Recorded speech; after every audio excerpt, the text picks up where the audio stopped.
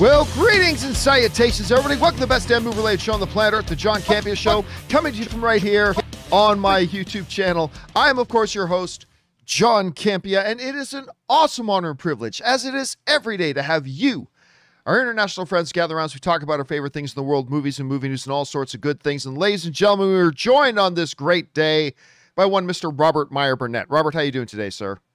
John, I, you know, the news we're going to talk about on the show, if true, has made me a very, very happy boy. Oh, really? And why? Well, if it's true. If it's true, yeah, we we do have uh we have a number of things we're gonna talk about here. Uh, but listen, let's get into it here, shall we? Here's how today's show is going to go. We have uh, not a lot of topics to talk about here today, guys, because well, there wasn't a lot of news coming out of the world of Hollywood yesterday, being the holiday that it was. So there wasn't a lot to come out. By the way, I just have to say, if you guys detect, if you happen to catch, and maybe, you know, uh, are suspicious, maybe that maybe it seems like John's not in such a good mood. Uh oh. I wasn't going to say anything. Maybe I wasn't going to say it. Is it is it is it just us, or does it seem like John's in not such a great mood today? You guys would be forgiven that um, you don't know because I don't talk a lot on the show about it. Eh, certainly not as much as as I talk about my love of Star Wars, but I am a lifelong bleed blue and white Toronto Maple Leafs fan. The Toronto to put this in context. Oh, you Oh, laugh. You laugh. I'm going to cry. I'm going to cry. my Toronto Maple Leafs have not been to the Stanley Cup finals, not just not won the Stanley Cup, but have not been to the Stanley Cup finals the entirety of my lifetime. From the moment I was born to this very day that we are talking on the show, the Toronto Maple Leafs have never even been to the finals. Rob, the Toronto Maple Leafs have not won a playoff series, a single playoff series in 17 years. Uh, forget again, they haven't won a playoff series in 17 years. And then last year was looking pretty good. I mean, they weren't going to win the cup, but they they looked good. Trounced in the first round again, no series win. So then this year, oh Rob, this year was the year. This year was the year. And I didn't talk about it much because I didn't want to jinx anything. I, you know, I, you know, whatever. And they go into the playoffs to play their historic arch rivals, the Montreal Canadiens. They go up three games to one in the series, three games to one. And you're figuring it's over. Well, then they lost game five, and suddenly it's three games to two. And then in game six, they botched a stupid play in overtime and lost in game six. So now it's three games apiece. So it's all right. They're going home to play in game seven. They're going to win their first playoff series in 17 years, maybe the first time in my lifetime. This is a team that's good enough to get the Stanley Cup final. And they choked. They choked again. The Toronto Maple Laughs choked again. And somebody sent me this meme. It's true. Toronto Maple Leafs in the Stanley Cup, social distancing since 1967. Oh, wow. And you know, when you're somebody like me, That's a great meme. it is. When you have an unhealthy balance of your sense of self worth tied into a stupid sports team, and you realize they've sucked their entire your entire life, which tells you something about your own sense of self worth, I suppose. Oh man, I don't drink, but if I was going to drink, last night was the night I was going to drink. Oh my God, last night was almost the night I took up drinking. I, I can like you don't even know how distraught I was. Like I actually contemplated just canceling all shows for the rest of the week. That's how distraught I was. But yep, the Toronto Maple Leafs continue their age-old proud legacy of suckage. F you, Toronto Maple Leafs. It comes a point, Rob. There comes a point when you invest your love and your passion and your fandom into something and it just that that object of your fandom just continuously disappoints you and fails you and fails you. I guess this is how the Snyderverse fans feel. Anyway, so it just constantly disappoints you, disappoints you. By the way, I'm joking. It's just having some fun. Uh, I, I, ah, Rob, my whole life. And then, then, then, sorry, I'm going off on this today, guys. Just let me vent for a second. Just get, give me this outlet. Give me this for a second. Then, Rob, some freaking Edmonton Oiler fans had the audacity, including a very good friend of mine, had the audacity of getting on Twitter to, you know, to commit, oh, you know, John, I totally know what you feel like as an Edmonton Oilers fan, you know, because, you know, they just got knocked out of the first round as an Edmonton Oilers fan. And I'm like, dude, in our lifetimes, the Edmonton Oilers have won five Stanley Cups. So you don't know. Don't pretend that you know. As you can tell, I'm very distraught by all this. Anyway, it's time for us to move on. Rob, uh, we have a number of things to talk about here today. Uh, but mostly we're going to focus on one main topic. And then what we're going to do is save the rest of the show to take your live comments and questions. That's what we're going to do for most of the show today is taking your live comments and questions. However, we do have one thing to talk about here that is pretty significant. And that one thing is this. You know, Rob, as we are starting to move out of the pandemic era, as we are and, and that's us fully acknowledging that we understand there are places in the world that are still very very much dealing with this in a very serious level. We acknowledge that we recognize that. But for where we live right now we we are transitioning into a post-pandemic era. Right. We're not there yet but we're we're, we're in the transition now. And we're seeing good things happen. You know we have seen theaters reopen big movies are coming back to theaters again. Quiet Place just made almost $60 million over its uh, Labor Day weekend uh, run. you know, the, the box office itself had a $100 million box office. Now, one of the big uh, pieces of collateral damage, if you will, coming out of the pandemic as far as how it's affected the movie industry was the theater chain Arclight, including the incredible, iconic Cinerama Dome Arclight Theaters and Pacific Theaters announced that they were closing their doors for good and they were going out of business. Rob, this was hard because for anybody who's ever lived in the LA area, the Arclight cinemas are a staple of what it means to be a movie fan. You know, a lot of people, Quentin Tarantino goes to the ArcLight. That's that's where he go when he's not watching, you know, his throwback film set the new Beverly. He's going to the ArcLight to watch the new blockbusters. A lot of Hollywood people, that's where they go. It's the prime theater down there in Hollywood, that and the Cinerama Dome. Now, another one of the very nearly uh, casualties of war of the whole pandemic was also AMC Theaters. AMC Theaters nearly bought it. They were able to stay alive. They got a lot of investment got poured in. They sold off a lot of things. They made some deals. They were able to keep the lights on, despite the fact that they laid off nearly 30,000 people and thought that was a good pretense to give their CEO a $9 billion bonus or $9 million bonus. Uh, yeah. But anyway, I won't go into all that again.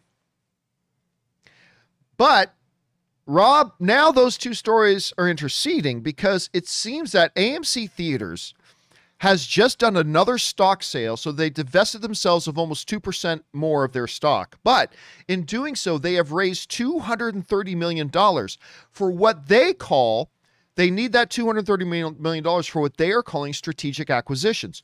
Specifically, they call out the ArcLight theaters and the Cinerama Dome, including some Pacific theaters. Let's read some of this. This comes to us from the good folks over at Deadline. Uh, let's read a bit of this. Uh, theater chain AMC Entertainment said early Tuesday that it has agreed to sell 8.5 million, uh, million shares to Mudrick Capital Management, raising $230.5 million in cash that it will use for acquisitions. The equity was raised at a price of approximately $27.12 per share. Proceeds from this from the share sale primarily will be used for the pursuit of value-creating acquisitions of additional theater leases, investments to enhance the consumer appeal of AMC's existing theaters, and Deleveraging the company said, uh, Given our scale, experience, and commitment to innovation and excellence, AMC is being presented with a highly attractive theater acquisition opportunities. We are in discussions, for example, with multiple landlords of superb theaters formerly operated by Arclight Cinemas and the Pacific Theaters, said CEO Adam Aron, who's, of course, about $9 million richer, thanks to laying off 30,000 people. Anyway, we're not here to talk about that. Rob, this is interesting because, you know, when they said that this, that cine, the Cinema Dome and the ArcLight uh, was going to be shut down, you and I both yeah. said that, you know, somebody's going to come in here who was the big question because all the theater chains were strapped for cash. All the theater chains were strapped for cash. So we knew somebody was going to come in here and do something, but at the same time, we weren't really clear about who. We speculated may, maybe AMC, but AMC was holding on by the skin of its teeth. And now here they come out. The biggest movie theater chain in the world wants to take over some of the most iconic movie theaters in the United States. And you know what, Rob? This might surprise you. I think this is a good move for them. I actually think it's a good move for them. Part of the entertainment industry, Rob, and I know you talk about this from time to time. Part of the whole thing in the entertainment industry is perception. You know, a lot of it is perception. And for an AMC theaters to come out, make major hundreds of million dollars worth of a deal take over one of the most iconic movie temples. In, because really, Rob, I mean, seriously, the Arclight Theater is very much like a movie temple. It's movie church, man. You walk into the Arclight Theater, and you got the restaurant, the gift shop, the bar, this huge like airport like arrival sign about movies and their show times, this iconic huge clock in there. It just there's an energy and a feel to that place that is just incredible. And if you're AMC Theaters and you can come out and you can acquire this landmark, this iconic symbol of the theater industry, particularly in Hollywood, if you can come out and take possession of that, that's a win. The other thing, perception wise, though, Rob, is this is that, you know, AMC stock has been doing well lately, mm. but now they come out of the gates and saying, okay, yeah, it was a really rough and tumble 2020. But now AMC gets to say, but look at us. Not only are we back, our stock price has gone up, and we are expanding. We are acquiring and we are expanding. And I believe, Rob, since the announcement that this has happened today, I believe I let me double check this, but uh, let me see here. Theater stock. I believe their stock has jumped uh, since last night, hold on a second. Uh, AMC Theaters stock price. That should be able to give it to me here. Yeah, like yesterday when we were doing the show, when we were doing the show yesterday, somebody brought up AMC stock and whatever. I said, well, it's currently at like $26 when I was doing the show yesterday after you had signed off. And as of right now, it's gone up like five bucks. Right now, it's sitting at $31.65. So, what they have actually done is they have increased their profile by by the deal's not done yet, but it looks like what they're moving towards is acquiring the most iconic symbolic theaters and fantastic theaters in all of Hollywood, the center hub of the movie industry. They're creating the impression to the public that we are back, we are healthy, and we are expanding. Their stock price is being driven up as a result.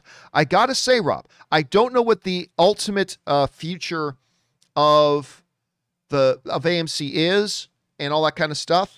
But I got to say, I think this was actually a pretty good move.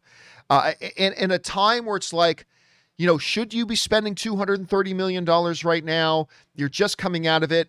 Sometimes you got to be aggressive. And I got to say, I think this is a good aggressive move. Rob, as somebody who is a big fan of the Cinerama Dome, that's that was your theater of choice that you would go to for all your movie you know, for all your big opening movies, you went to the Cinerama Dome. I was a big fan of of, of ArcLight and some of the Pacific theaters as well. What do you, how do you feel as a fan of those locations about an AMC coming to take it over? And then how do you feel about a potential deal like this from AMC's point of view? Well, I mean, for me, at the end of the day, the only reason to go to a movie theater is to see a film that's beautifully projected that has great sound. At the end of the day, to me, it's all about presentation. And AMC has proved that they do have a commitment to presentation with their Dolby cinemas and things like that. The added bonus about the ArcLight, and the reason I went there and paid a premium ticket price is no commercials. You knew that you'd get three credit or three trailers, and then they would start the movie. And they had a really good bar and restaurant there. So you could go and have a good dinner and then uh, have some drinks and then go see the movie. And then you invariably you'd run into people and you go go have drinks at the bar. It was just a great experience all around. And I would hope that and and the the the industry crowd that goes to those theaters goes there for that particular reason. And I would hope that maybe if AMC does acquire specifically the ArcLight here in Pasadena and also in Hollywood and the other ArcLights, they should call them AMC's ArcLight.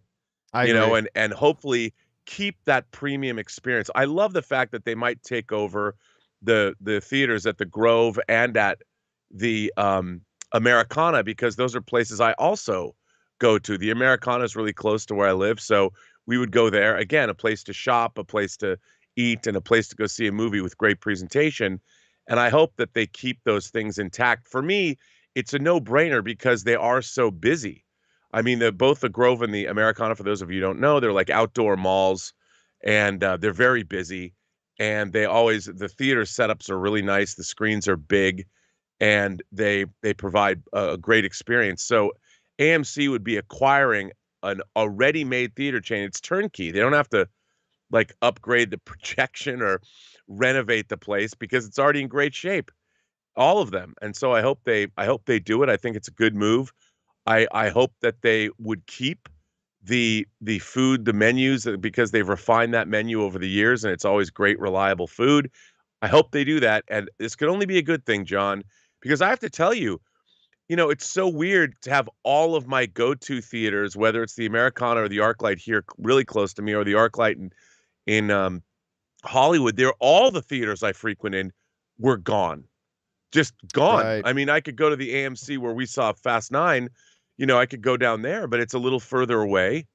And it's not something that, uh, and of course, I always make a special trip into Hollywood, but this could only be great. And hopefully, if they announce this, all they have to do is staff the place and open the doors.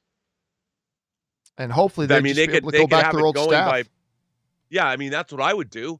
I would hire back everybody that still needs a job from the old ArcLight, the chefs, the keep the menu, keep everything the way it was.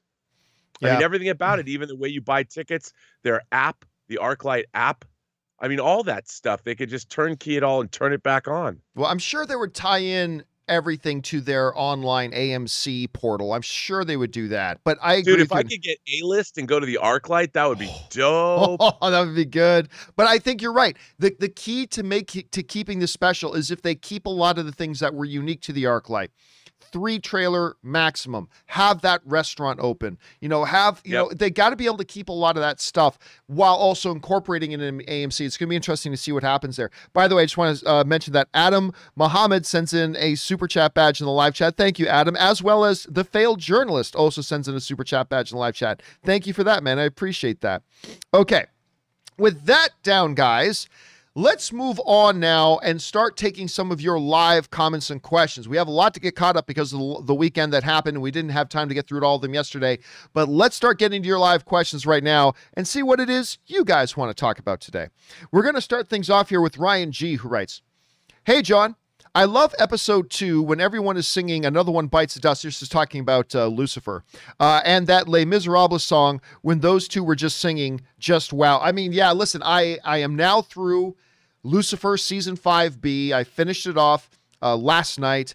I it's a very different kind of pace. A couple of very surprising things happened in the final two episodes that I did not expect and I did not see coming. Uh, but yeah, that particular episode, I've seen some people grumbling about the musical episode. I personally got a huge kick out of the musical episode. I really, really, uh, I really enjoyed that musical episode. Anyway, thanks for that, Ryan. Next up, uh, Myra Brito writes. Hola, John. I think it's time for you to expand the John Campea universe or the JCU. We need a Chris Carr food vlog show, a Robert Meyer Burnett movie business commentary show, and an Aaron Cummings being an actor perspective show. Uh, do like Feige and make it happen. Stay filthy. Well, thank you so much for sending that in. And you know, it it is it is funny, but let me let me address this seriously for a second. It is funny because I do get a lot of messages from people expecting me and thinking that I have this plan to recreate what I had created at AMC or recreate what I had created at, at uh, Collider, where we're going to eventually get to the point where we're launching all these different shows with all these different people, all on the John Campea channel, blah, blah, blah. I'm going to be, uh, Rob, you and I have had discussions about this. You know this. I have no desire to do that. I, I have been there. I have done that. I am very, very happy doing things at the scale. I mean, look, we work our asses off, but still, I like Yeah. doing things at the scale. I'm very comfortable. I'm very happy uh, doing things the way I'm doing it right now. Because you know, I have constantly have people writing in, oh, you know, you should get such and such a person and this person, this person, and then launch different shows. And you should do this, and you should, uh, you know, get a big panel of four people again at a table. I'm like, you know what? I, eh, no, been there, done that. Kind of moved past it. I'm very happy doing the things the way we do them now. So. I don't, I don't know, Rob. You got any kind of insight into that you'd want to share? Well, you know, it just. I mean, I do so many shows already. I, I, I, the idea of doing more shows would be daunting, and it, it, like I have dreamt my my channel is called the Burnett Work. I want a 24 hour YouTube network with shows that new shows that are running 24 seven, new episodes. Who's gonna do that? Like, Yeah. like I can't even imagine the amount of time it takes. I mean, dude, I've been doing these midnight shows uh now. And even those, like you do this, sh- I do your show, I do my show, I go stream on various other channels here and there. Then I'll do a midnight show. Then I got a physical media show. Then I got an action figure show. Al, uh, we do whining about movies. I'm like, I don't even know. I I don't know how much you know how much more I can do without without dropping dead of exhaustion. Yep, there's just only so much you can, and so much that you want to do. But anyway, thank you for writing that. Listen, a Chris Carr. Although I would watch a Chris Carr cooking show. I to would honest. totally, I would totally watch a Chris Carr cooking. Show. I vlog. really miss her. I I love Chris Carr. Yeah. I I love listening to her voice. I I miss her to death. All right, let's move on here. Next up, uh, we've got that was uh, Myra. Thanks for that, Myra. Uh, Sergeant Ward writes, "Hey John, if you had to guess which streaming services uh, services would end up merging with one another, my best guess is Showtime will merge with Paramount Plus, and Starz will merge with Apple or or Amazon. What do you think? I mean, I I don't know. Um, it's it's going to be interesting to see because right now places like Showtime and Starz, they actually I read a really neat report about them a couple of months ago, Rob. Places like Showtime and Starz, why they are definitely the smaller players right now, that they're actually doing very well for themselves. Yeah. Like, you know, they're with Showtime, like on there's like five different services. You can get Showtime as an add-on feature for X amount of dollars. You can get it as a standalone thing. You can get it as an add-on to one of the different services, and they're apparently very profitable.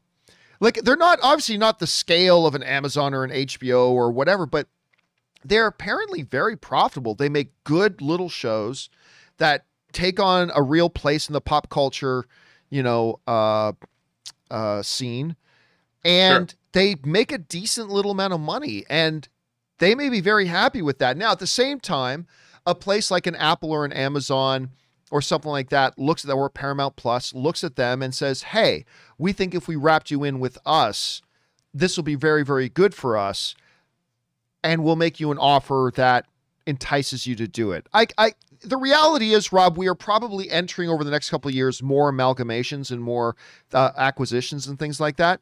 So, I, but who it goes to, I don't know. All I know is this: Disney right now is not in a major acquisition position. And I don't think they will be for a couple of years. That doesn't mean they can't make a couple of small acquisitions, but like a- Um, go ahead. a big news just dropped. Oh. Just this minute, just this minute on deadline.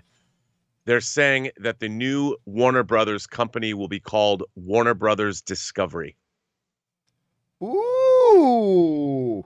Well, you know on- what? That's Done. headline. That's on deadline right now. There it is, right Yeah. there. Just Dis- dropped 10:23 a.m. Breaking news. Discovery says merge company will be called Warner Brothers Discovery. I like it. I do too. I mean, look, one of the things that you and I have said for a long time was Warner had to be in there. Warner, but Yes. it- but but but but this is not saying that they're rebranding HBO Max Yeah, I'm this. curious about that. You know? Because that's what I'm. I am actually more interested in what they are going to call their Prime streaming service, which right now is obviously HBO Max. What are they going to call that Prime streaming service? Okay, that's cool. You're going to call the overall company. Uh, what is it again? Warner Brothers Discovery. Cool. Brothers Discovery. cool name, good name, no problem with that name. That's great, but I want to know what you're naming the actual service. Uh, and I'm still leaning towards Warner Max. I still think Warner Max is a winner for that one. I don't, I don't know. What do you think about that? Now that they're calling the actual company Warner Brothers Discovery, what does that give you any sort of an indication about where you think they might go with the name of actual HBO Max? I mean, I don't know. I, I, I, I can only imagine. I mean, they've now got Discovery Plus, and they've they're promoting that. Um, maybe they'll keep HBO Max, They could. Warner Discovery company, but I, I still think they have a branding problem because there's all these different versions of HBO, and I, you know, well, they the have been same? getting rid. They have been getting rid rid of, of those. Like I yeah. I, which is good, but uh, we'll see, we'll see. All right. I, I don't know. I, I I'm I'm excited. I think Warner Brothers Discovery. I like the idea, the whole notion of discovering new things. I think that's a that was a good way to go. There's something inherently optimistic about that name, and I like it. I like it too. All right, let's get back over to our live questions. This one has come to us from Willow, and Willow writes Regarding the question about shows you wish got a second season, I admit that I haven't watched Awake. I remember seeing the ads for the show years ago and thinking it looked interesting, but come on, John, the answer has got to be Firefly, Browncoats Unite. I mean, that's okay, that's another one. So, Rob, I don't know if you were on at the time, but somebody wrote in, you know, saying, hey, if you could pick a show that only got one season to get another season now, you know, budget isn't an issue, whatever, you had the power to greenlight it. I always, whenever that question comes up, you know me, I always go back to that show Awake because I thought it was a wonderful show. It ended on a killer cliffhanger, and we never, as the audience, got to find out what was causing this guy jumping between universes. What was making him jump between realities? And we never got the answer to it. We never got it. Firefly is an obvious one. I mean, that I, I don't know that in geek culture circles there has ever been a more important single season show than Firefly. I, I mean, that's that, that's just I can't think of another one that had the impact that Firefly had while only getting one single season. But I never felt like Firefly ended completely unresolved. You know what I mean? Right. And like the awake thing, the entire season was about this question why is this detective waking up in different realities every time he goes to sleep and wake up? And just as they're about to answer it, the season ends and then the show gets canceled. Firefly never felt that. And then we did get Serenity, which I think is like the most underrated sci fi movie the past 12, 15 years. I love Serenity. Um, but I I'm gonna stick with Awake. Rob, do you have anything in your uh, repertoire in your pantheon of shows that you loved that only got one season and you really wish it had got another? Do you have any that stand out to you? Um. No, not not not necessarily. Well, well, yes, yes, yes. I have an answer to this, John. I want one of my favorite science fiction shows of all time is a show called UFO that was produced between 1969 and 1971. Gerry Anderson, who made the Thunderbirds, it was his first live action show, and then he made Space 1999. UFO only went one season. I would love to have had a second season of UFO. That's one I never watched. I love it. It's I think it's streaming on Amazon now. I might have to check that out, guys. I, I mean, I'm curious for the rest of you guys. Do you guys have a favorite show that only got one season and then had its plug pulled prematurely? That you, if you could have the power to do it, you would bring it back for another season. Whatever it is, jump in the comments and let us know. I'd be curious to read what some of your picks would be. All right, let's move on here. Next up, we got Suthius who writes. February 4th, 2018. I remember it all too well. I had I uh, I had pop up a trailer that had a fight scene in a bathroom Uh, that must be Mission Impossible. Uh, one with uh, the characters cocking his biceps before fighting. Never seen such a move. It looked even more badass because of the one and only Henry Cavill. Okay, Henry. So I I'm assuming he's talking about that Mission Impossible. Yeah, movie. That that bathroom scene, fight scene was awesome. It's awesome. It was awesome. And you know what? Okay, here's something. I know this is not what people are talking about, but this is one of the reasons why I like that scene so much. It's one of the things that I really appreciate about Tom Cruise as an action star. A lot of action stars, and Rob, you and I covered a topic on this because a big article was written about it. But a lot of action stars will like have it written into their contract that their character can't lose a fight in the movie. Very reminiscent of what they talked about in um, Once Upon a Time in Hollywood, when they're they're talking to Leonardo DiCaprio's character, and he says, "You know, you get your ass whipped by this guy, so that's all the audience sees you as now is the guy who gets his ass whipped." And so you get a lot of these guys who, like in their movies, they always have to be invincible. One of the worst offenders of that is also one of my favorite movie stars, Vin Diesel. I love Vin Diesel. I love him, but him and his characters always being completely invincible is a, a, little tiring sometimes. And others can do it as well. But Tom Cruise and that bathroom fight scene in that Mission Impossible movie, Tom Cruise is more than willing to go, yeah, there are circumstances that my character would lose a fight. And in that bathroom scene, like him and Henry Cavill were getting their asses handed to him by that one guy, and it ultimately took both of them to just get out of that thing alive. But they took a whooping, and I love that Tom Cruise isn't afraid to say, "Yeah, sometimes my characters would get their asses whooped," and I like that about him as a movie star. I just makes me feel like there's more stakes in it. I, I don't know. When you look back at that Mission Impossible movie now, Rob, that whole bathroom fight scene. What do you remember most about that bathroom fight scene? Oh, dude, it was. I mean, the flat, the the moment you know, I love that kind of thing he does. You know, it's great. But I I really like that movie a lot. And I hate to say it, as much as my love my James Bond franchise, I really do think, especially the last two films, um, really sort of supplanted the Bond franchise in my mind. I mean, I hate to say that, but the idea of a group of spies going rogue and wanting to change world events and the the impossible missions force going after them. I mean, I loved I loved it. I loved Fallout. It was great.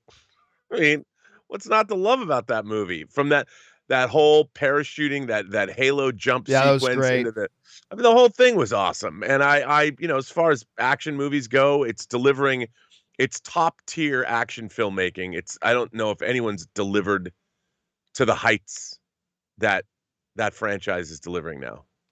All right, next up, We've got Ronan who writes, like I like the doc I like the Doctor Strange, but I'm still waiting for him to break out. It seems that he's been seriously holding back uh, from the fight scene with Ebony Maw to turning Thanos uh, Thanos' black hole into butterflies. I think is due to his uh, do no harm oath. Uh, what say you? No, no, because there's other fights like the one fight in the first Doctor Strange movie where he's fighting the guy in the ethereal plane while his body is being operated on. Uh, that wasn't Scott Eastwood. That was uh, who's that guy? That uh, the action guy that everybody loves, but he's never. Not Scott Speedman, guys. Who was the guy who was fighting again? I, I, I can't believe I'm freezing on his name right now. Anyway, you guys know who it is I'm talking about. Um, Scott Adkins. Thank you, Al Johnson. Yeah, Scott yeah. Adkins. So he's fighting Scott, and and yeah, there there was. I never got a sense in.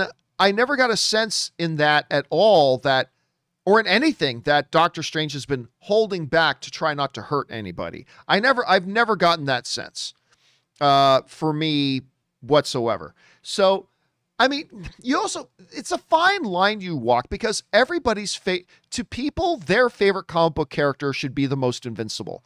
And one of the knocks on the MCU right now, Rob, I can't remember which website did it, but one of the uh, websites, you know, put out this article about uh, like 15 MCU characters who could fight Thanos one on one.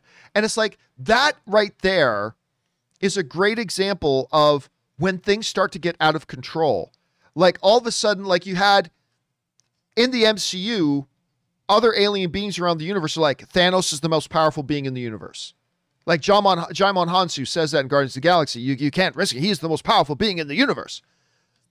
But now, like people say, well, Thor could beat him, Scarlet Witch could beat him, Captain Marvel can beat him, and uh, you know if you get a properly raged up Hulk, he could beat him, and then they got this guy coming, with this Eternal could beat him, and this, and all of a sudden, like everybody is so outrageously overpowered that it could, it can. I'm not saying it is a problem. I'm saying if you don't monitor it and reel it in a little bit, it can, I think, become a problem because like everybody's just so ridiculously overpowered that you have to be think and Doctor Strange is one of those characters, Rob, that you could very easily just make him completely overpowered in the movie. So I don't know. How would you address that? Do you think that could be a problem? And if so, if you're a movie exec, how do you keep an eye on that? Well, I you know, it's that's a tough call to make because everybody sort of has different strengths. Yeah. and you have to decide like okay, you know, there are certain realms where like like okay, Doctor Strange is a is a great example of somebody that has pretty immense power. But when you're fighting alien invaders, does your power work against them the way it would way work on somebody who's from Earth? Right. You know, like like and it, it it like look, I think and we've talked about this before. I think Iron Man in the MCU became way overpowered.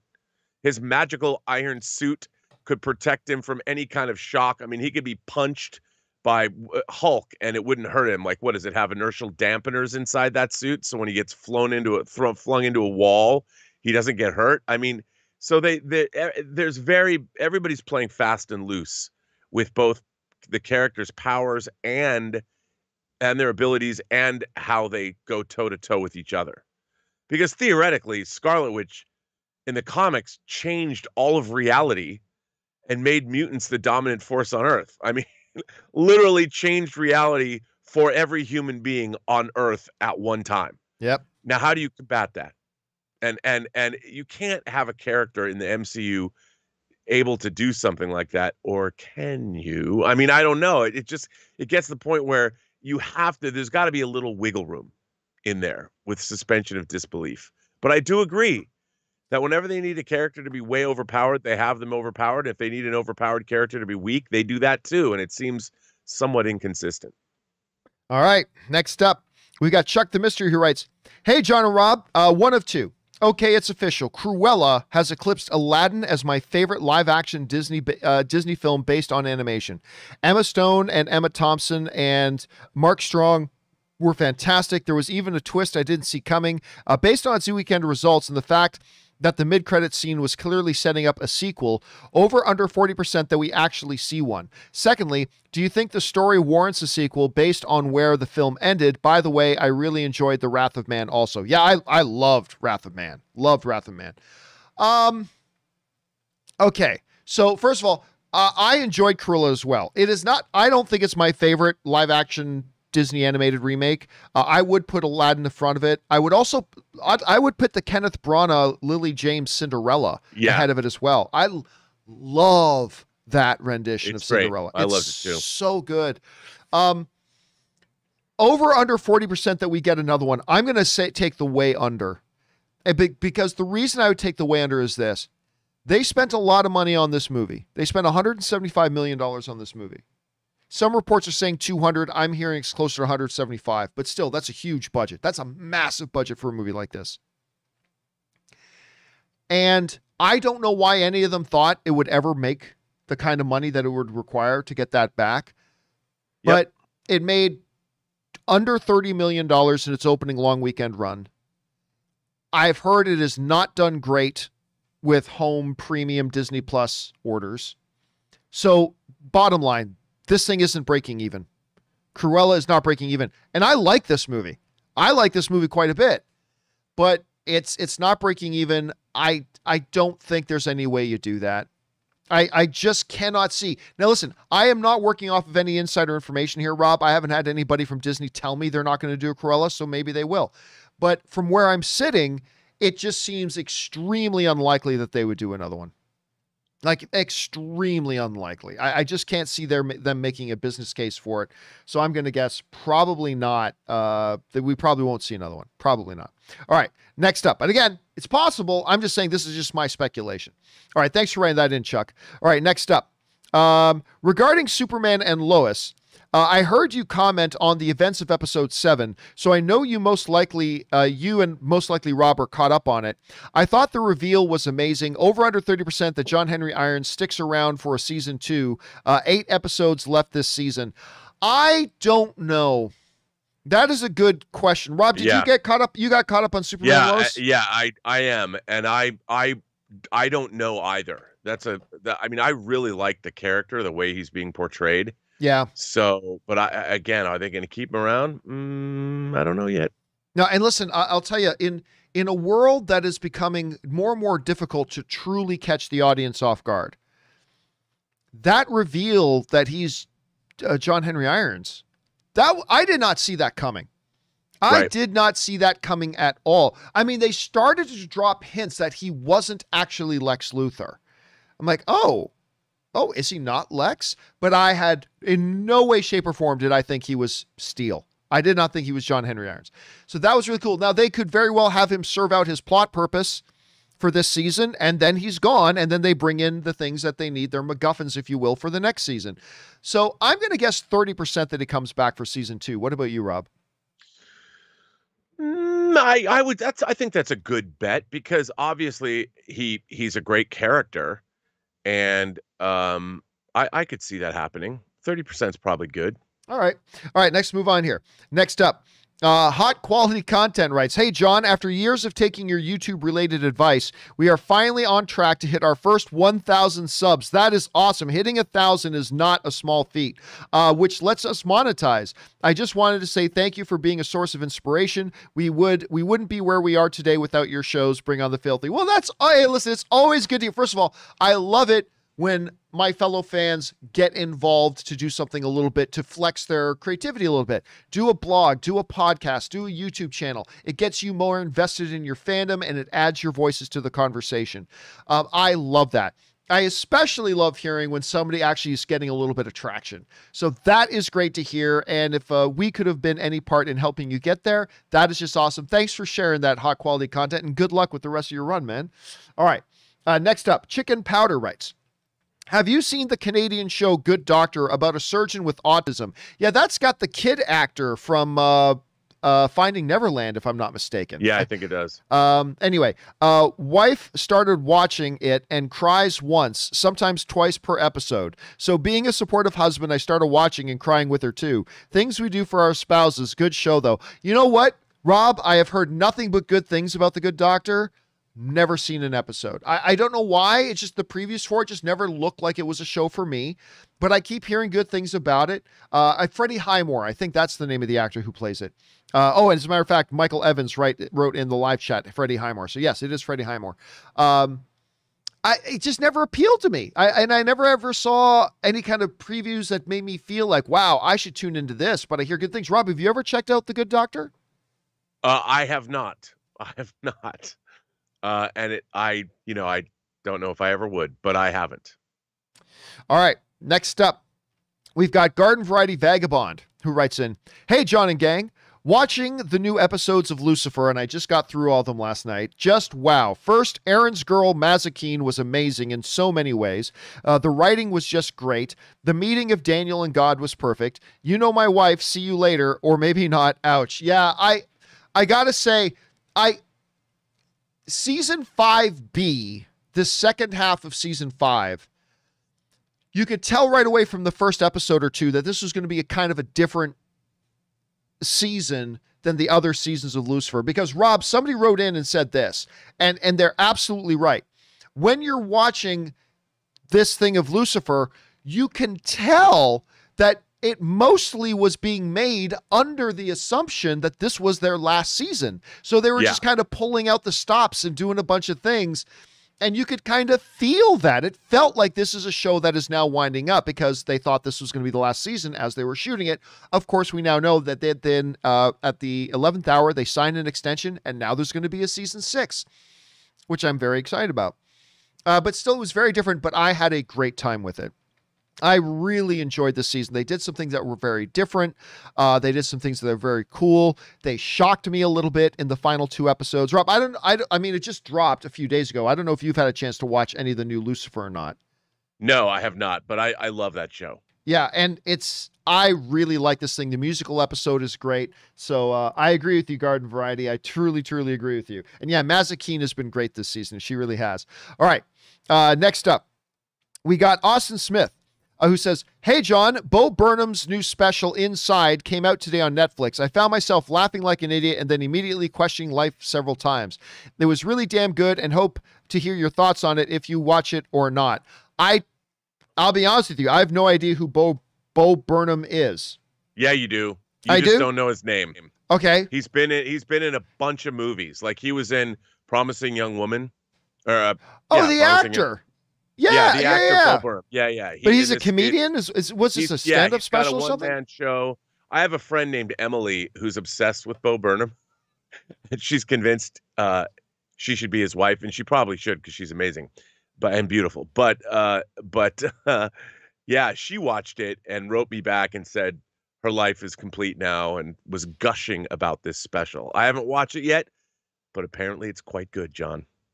Yeah, I I am not familiar with them. I've not even heard of this special, but thank you for putting that on my radar, Austin. Appreciate them, and I'll keep my eyes open for it.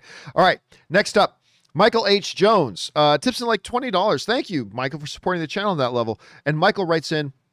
Hey, John, my favorite Lucifer line of all time comes from season five, episode 10. Moses didn't desire this much FaceTime. I loved that line. I loved that line. And I won't say the context of it because I don't want to spoil anything. But when it comes, even Moses didn't desire this much FaceTime. It, yes, it's great. Also, uh, A Quiet Place 2 and Cruella are both very good. Hope you saw the box office numbers. Box office is back. And yes, we did talk about that on the show the other day. And again, a, a tremendous success for A Quiet Place 2. Couldn't have happened to a better movie. This movie is fantastic. Uh, it's going to be in my top 10 by the end at the end of the year for sure. How high? We'll have to wait and see.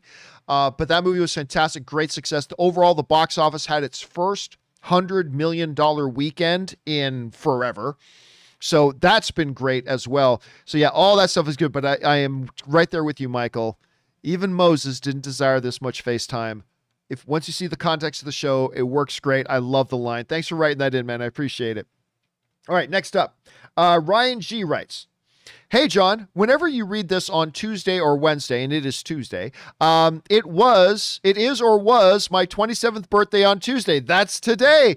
Uh, wish me a hap- happy birthday too. Well, happy birthday, Ryan. May you have a glorious, great day and a glorious and great year filled with triumph and victories along your path all throughout the rest of the year. May you have a good one, my friend. And uh, again, happy birthday to you, dude. All right, next up, Clay Woodley writes.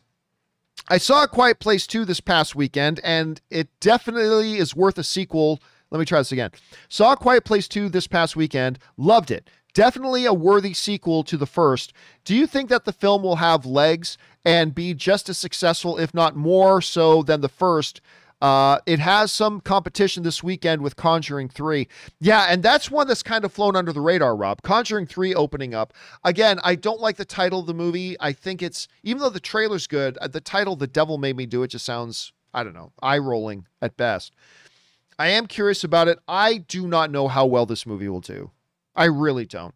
I, Rob, you could show me a video clip from a week from now, like in the future, and show me a clip sa- saying Conjuring 3, The Devil Made Me Do It, made $8 million opening weekend, and I wouldn't be surprised. And you could show me a clip that says Conjuring 3 made $40 million opening weekend, and I wouldn't be surprised. I, I honestly, right now, have no idea what the barometer is for, for this movie. I have no sense of it whatsoever. I don't hear a lot of people buzzing about it. I don't hear a lot of people talking about it, but it is The Conjuring. So back to a quiet place. Rob right now i don't know what kind of legs movies can have right now. Like we, we're not out of the pandemic yet. No. you know you had a great opening weekend but we traditionally are in a cycle where more and more people are seeing movies in their first couple of weeks anyway even prior to the pandemic. So when I say I don't know what kind of legs it's going to have, I'm not saying I'm doubting it. I'm saying literally, I don't know. We have no precedent for this. It will be curious. Like, I think it'll take less than a 60% drop next weekend, which would put it in an, an acceptable range. So, but I also think it'll be a greater than 50% drop. So I think it's going to be between a 50 and 60% drop. What do you think, Rob? I think that sounds pretty good. Um, but you know, word of mouth on this movie is really strong. So, um, that's true. I, I mean, people are. I, I haven't. I don't think I've seen a movie that people were that gaga for in a long time. So it might it might have a big hold. Obviously, you know, I mean, I could see it maybe only having a forty percent drop. Well, that would be great if it did. I mean, that would be huge, obviously, but but I I I only base that on the fact that many people are loving life with this movie. So why not? A forty percent drop, even pre-pandemic, would have been considered an outstanding set of legs. Yes. So yes. it'll be. I hope you're right. I hope you're right. All right. Next up, uh, John Campea's fingernail writes, I personally think Sony and Disney have already extended their deal uh, for for a few more movies. We just don't know it yet. I'm almost 100% that if not Spider Man, Spider Woman, or someone will come to the MCU. Olivia Wilde hinted back then at something with Feige.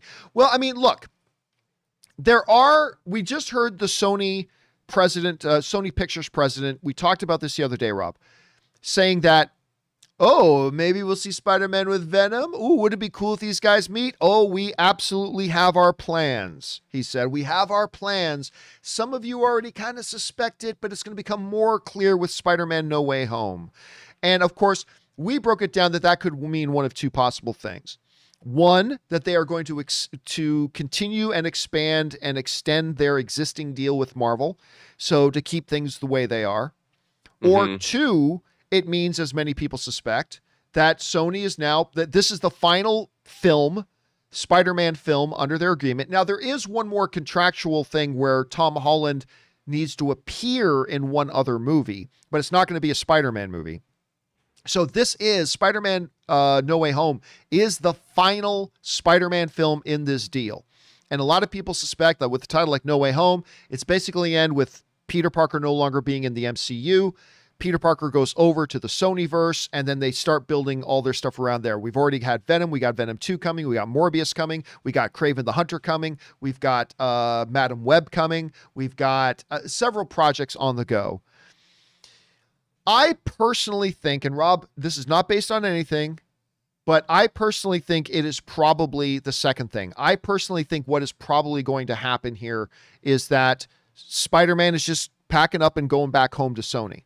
And I'm good with that because Sony has made the best Spider-Man movies. So I'm okay. There's all, they've also made the worst ones, but they've made the best Spider-Man movies, so I'm okay with that. But it could very well be. And Rob, I think it's fair to say that if the plan is that they are extending the deal, then absolutely the person writing in is 100% right. The deal's already done. Yeah, I mean, there, if that's what they're doing, there is no way it's not already signed. Of course, it would be already signed. We just don't know it yet and probably wouldn't know about it for a while. Rob, I know we talked about it the other day, but you've had a little bit of time to marinate on it a bit. Reflecting back on the words of the Sony Pictures president and stuff like that, which one uh, do you lean towards? Do you think it's more likely now that they are going to extend this deal? Because, Rob, this deal has been great for both of them. Yeah. Disney's made money, Sony's made money. I think that when they have had to interact and collaborate on these projects, I think they've delivered some really good, solid Spider Man movies. But at the same time, Sony is looking at look at the success we had with Venom, with Spider Man into the Spider Verse. People are excited about Morbius, blah, blah. Let's get Spider Man back in here and really build this cinematic universe. I don't know. Which way do you think they're leaning right now? I think they're absolutely going to extend the deal. I think they're also making plans to to combine these universes into one, and I think that um, they can they can get away with that, or either that or they're going to say that the Sony Spider Verse is an adjunct universe. You know, like specifically give it a number the way they have different universes in the Marvel Comics universe. But I think that why wouldn't they extend this deal? It's worked out for everyone. And I think, you know, what's great about it is I wouldn't be surprised if Sony makes another Spider-Man movie that's outside of the MCU that is specifically dealing with their Sonyverse, whether it's Mobi- Mo- Mobius, whether it's the Sinister Six, whether it's Venom and Carnage. I think they're going to do a movie that deals with those characters while Phase 4 and Phase Five continue forward and whatever their long term plan is because whatever they're doing at the MCU, we don't know yet, but they're they're building up to another Infinity War and Endgame. Whatever that is, whatever form it takes, I don't know because it's still early on, but they know. And whatever that is, uh, I'm sure it's going to be exciting. But I think Sony's going to play with Spider-Man in their own Sony Spider-Verse for a while, and then and then it will um, it will uh, and then Spider-Man will return to the MCU. All right, let's see. We're I- I'm sure we're going to find out in the next course. couple of months. By the way, John, that's a total speculation. I have no evidence or knowledge to support that assertion. None. But but uh, but I think we are pretty firm that it's got to be one of those two things. Yes. and and we will find out soon because you know spider-man the movie's coming out in a few months so and i think we are going to know what the future is going to be prior to that movie launching so we'll see we'll find out soon enough it could be either all right ryan loner writes i can't wait for the ursula movie where we find out her parents were killed by a pair of legs get it Haha. Uh, and of course, uh, either Flotsam or Jetsam is turned into what I'm pretty sure would now be Disney's fifth, uh, first gay character, fifth first gay character. Uh, those were the eels, right? Were those the eels? I, I yeah, I think so. Anne Anne is constantly trying to get me to watch because I don't think I've ever watched that movie more than once. I think I saw the movie once in my lifetime. I might have to go back and watch it some more. Anyway, thanks for sending that in, Ryan. All right, next up, Jason Espinoza writes. Um, Production has started on Amazon's eight episode revival of those good Canadian kids in the hall. Dude, I was very excited to hear about that. If you guys, I mean, look, I'm sure, you know, I'm always surprised how many Americans do know about Kids in the Hall. They're one of, in my opinion, one of the greatest uh, ever comedy troupes, sketch comedy troupes, and stuff like that. There's ever been a bunch of good Canadian boys. I actually did a, a show with one of the guys from Kids in the Hall for a little while. Um, but at, at any rate, I love that these guys are back. These are the Daves I know, I know. These are the Daves I know. Only a few people will know will know that reference, but I'm very very excited. Rob, I I don't know how big it was in the Pacific Northwest. Did you guys ever watch Kids in the Hall when like at, yeah, at all? no, people did. You know, absolutely. We have we have a very good sense of sketch comedy. so yeah, I'm no, very they- excited they're back. Very excited that they're back. Absolutely. I cannot wait to see what they've got. All right. Alan uh Hi writes. Uh, is The Quiet Place the first truly profitable movie of the pandemic era? That's a good question. I I want to say that the first truly profitable movie of the pandemic era was uh, Godzilla versus Kong. Uh, let me just go and check it out because I know I believe it hit 400 million uh, at the worldwide box office. So let me just ah damn it, Fandango and your pop-up ads. Um, okay, so and by the way, Dragon 10 sends in a super chat badge in the live chat. Thank you, Dragon 10. So yeah, I mean, hell, look at that. Uh, the movie made 435 million dollars at the worldwide box office. Uh, and I believe, Rob, we did our mathematical breakdown before, and I believe we said it needed to get around 395, 390, 395 yeah, to be profitable. And if it has indeed uh, hit 400 and nearly 436 million dollars, that means it is in the not only profitable range but tens of millions uh, profitable range. So uh, right now, I think we can say that Godzilla vs Kong was the first truly uh, profitable, not massive. Like, oh, we made 800 million in profit. No, but it was clearly profitable. So I, I think we got to go with that one. All right. Uh, next up, Canadian Batman writes, Best of luck for the game tonight. Obviously, he wrote this in just before the game last night. Did not go my way, Canadian Batman. Did not go my way. Hence is the story of the life of a Toronto Maple Leafs fan. Doesn't go our way. All right. Uh, Teskey writes, Hey, John and Co. Just wanted to tip in and say uh, and say tell you how appreciative I am of you guys constantly ke- uh, getting me through these work days. Keep on the filthy. Well, thank you so much for that, Teskey. You know, Rob and I talk all the time, uh, both on camera and off, about how amazing it is that we get to come along and be that that so many of you guys allow us to come along and be a part of your day. Whether it's you just sit down to watch the show or you've got the show on while you're working, it helps get you through your day. Maybe you're you're at work, you pop on the podcast, you listen to on the podcast. just we are constantly getting Rob and I both get messages from people all the time about uh, the fact that they just have us along for them on their day, and we're always amazed by that.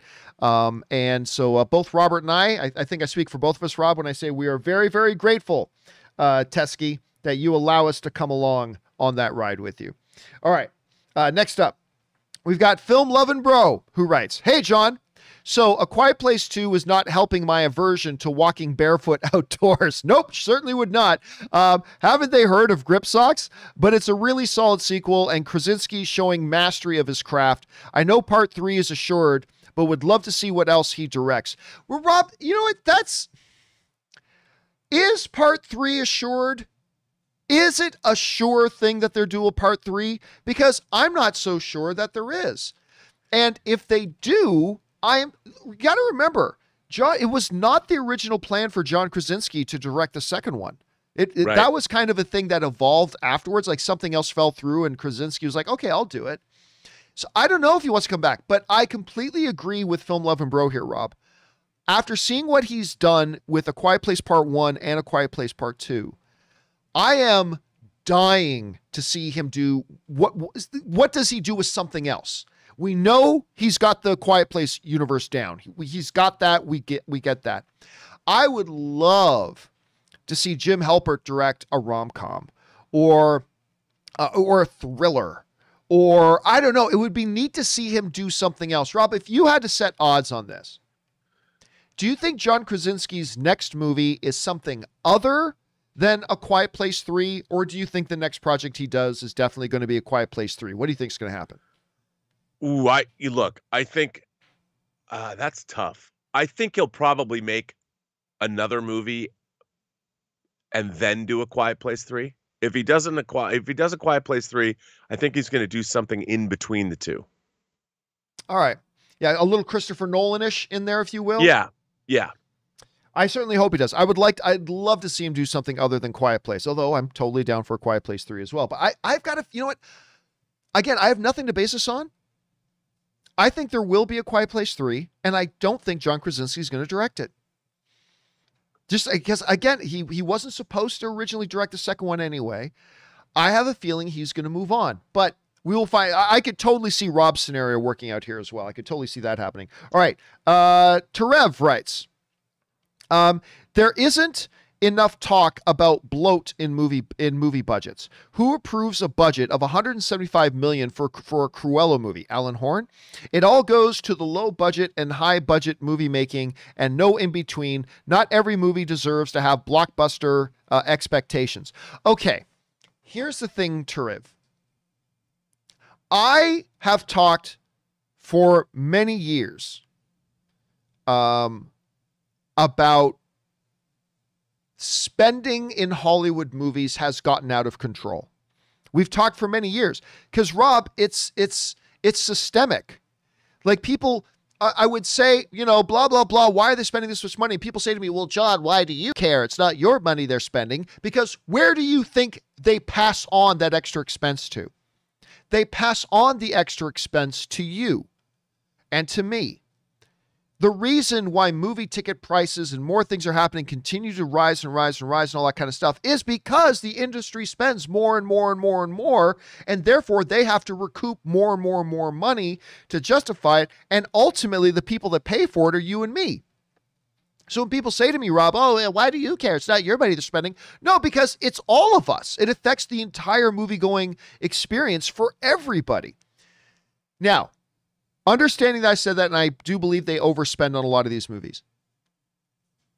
It's easy, Rob, because Rob, I think you and I both do this too. It's easy to play Monday morning quarterback. Sure. And say, well, clearly they shouldn't have done this one. Now, look, I, I never thought Cruella was a good idea for a movie. But that being said, how many people said Aladdin was a terrible idea?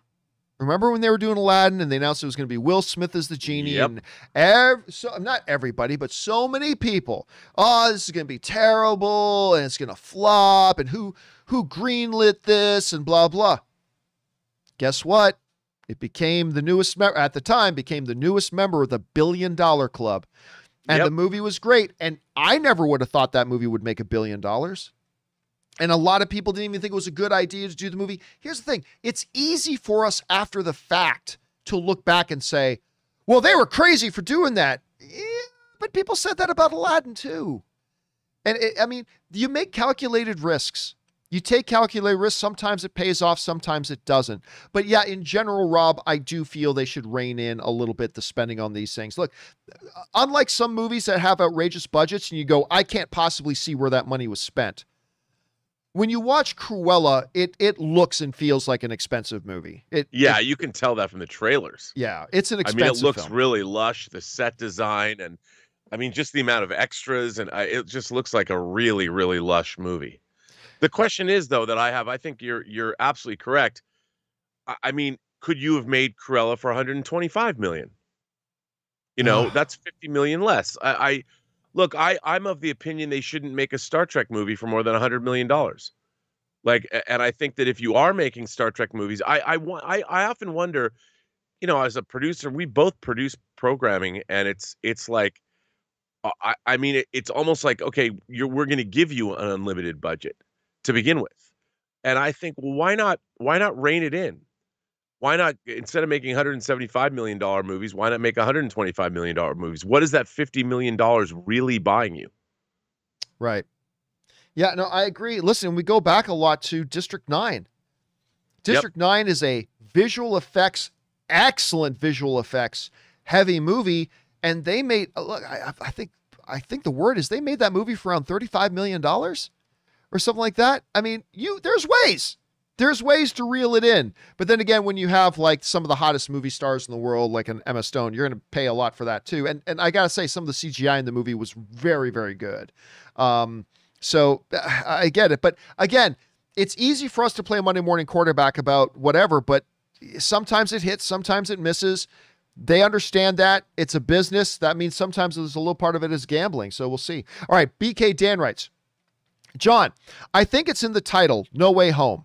I think that Spidey's being sold lock, stock, and barrel to Disney. No chance. Uh, I see Disney is about to reveal in joint statement with Sony uh, right before the movie comes out that they have made the deal. I don't know way. I I I mean, Rob, anything is possible. Anything is possible. Why on earth would Sony sell back the rights to Spider-Man? yeah, Why would they do it?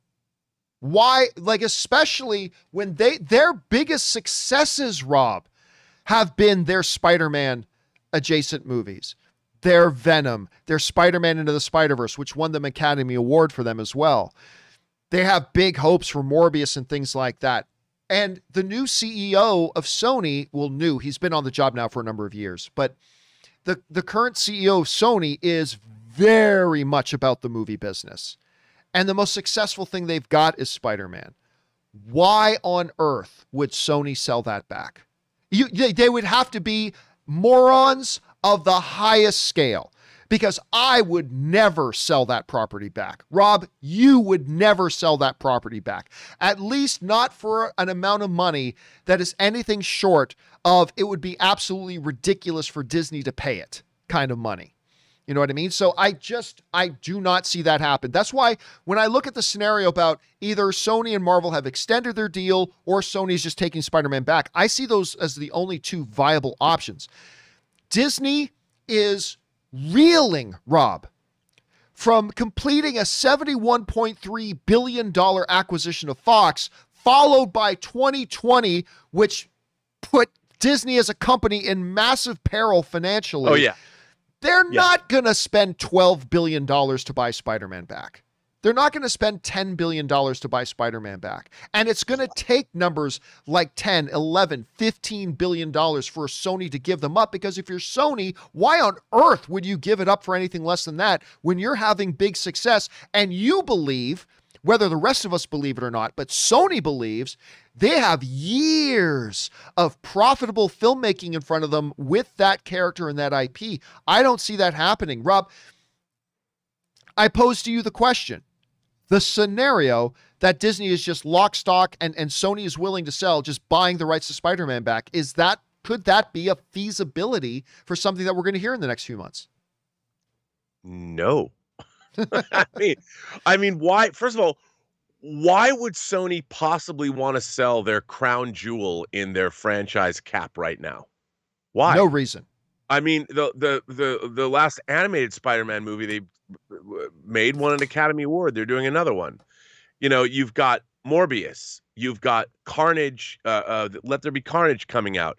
They're going to do a Kraven the Hunter movie. All of these are part of their Spider-Man deal.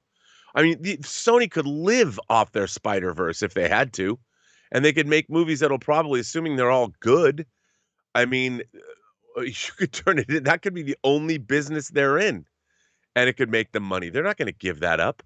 Plus, look at the video game side. Yeah. You know, I mean, why would you do that?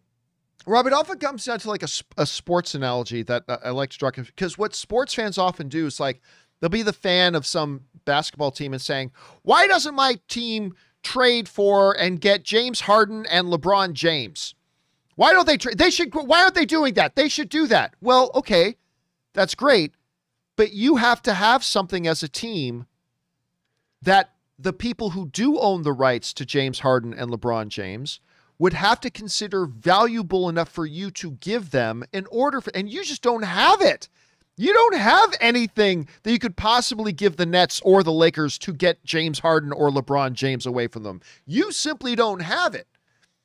And whatever amount you do have, you'd be destroying your thing to do. So, like, it's one thing to say we they should just get James Harden.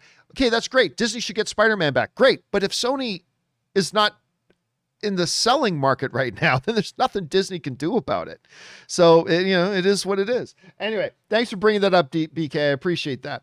All right, let's move on here. Next up, Ben Rayner writes, Hey, John and Rob, happy Memorial Day. I think Spidey will go back. Obviously, uh, Ben wrote that in yesterday. I think Spidey will go back to Sony, but if they do exist in the same universe, uh, but if they do exist in the same universe, and Eddie and Carnage is in Frisco, but isn't Scott Lang an Ant Man character there?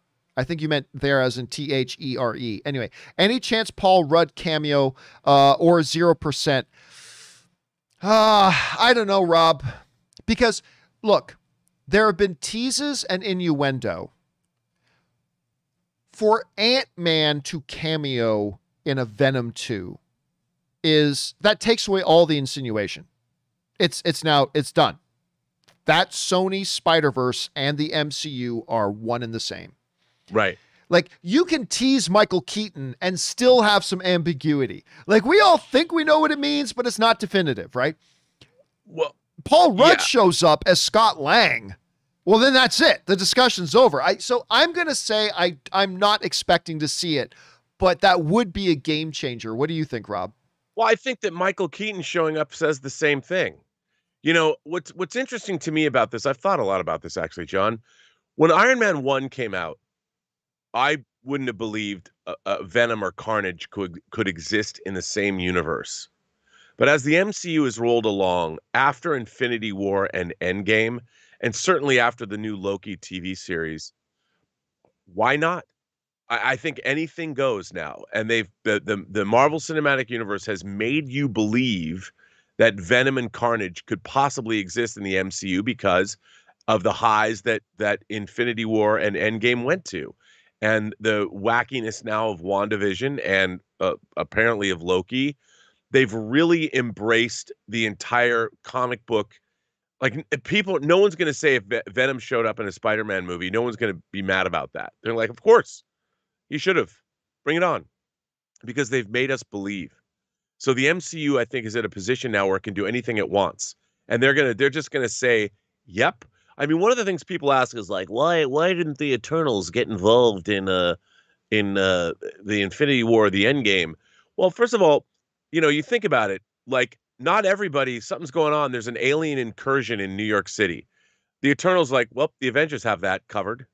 Like, we're not gonna, we're not getting involved.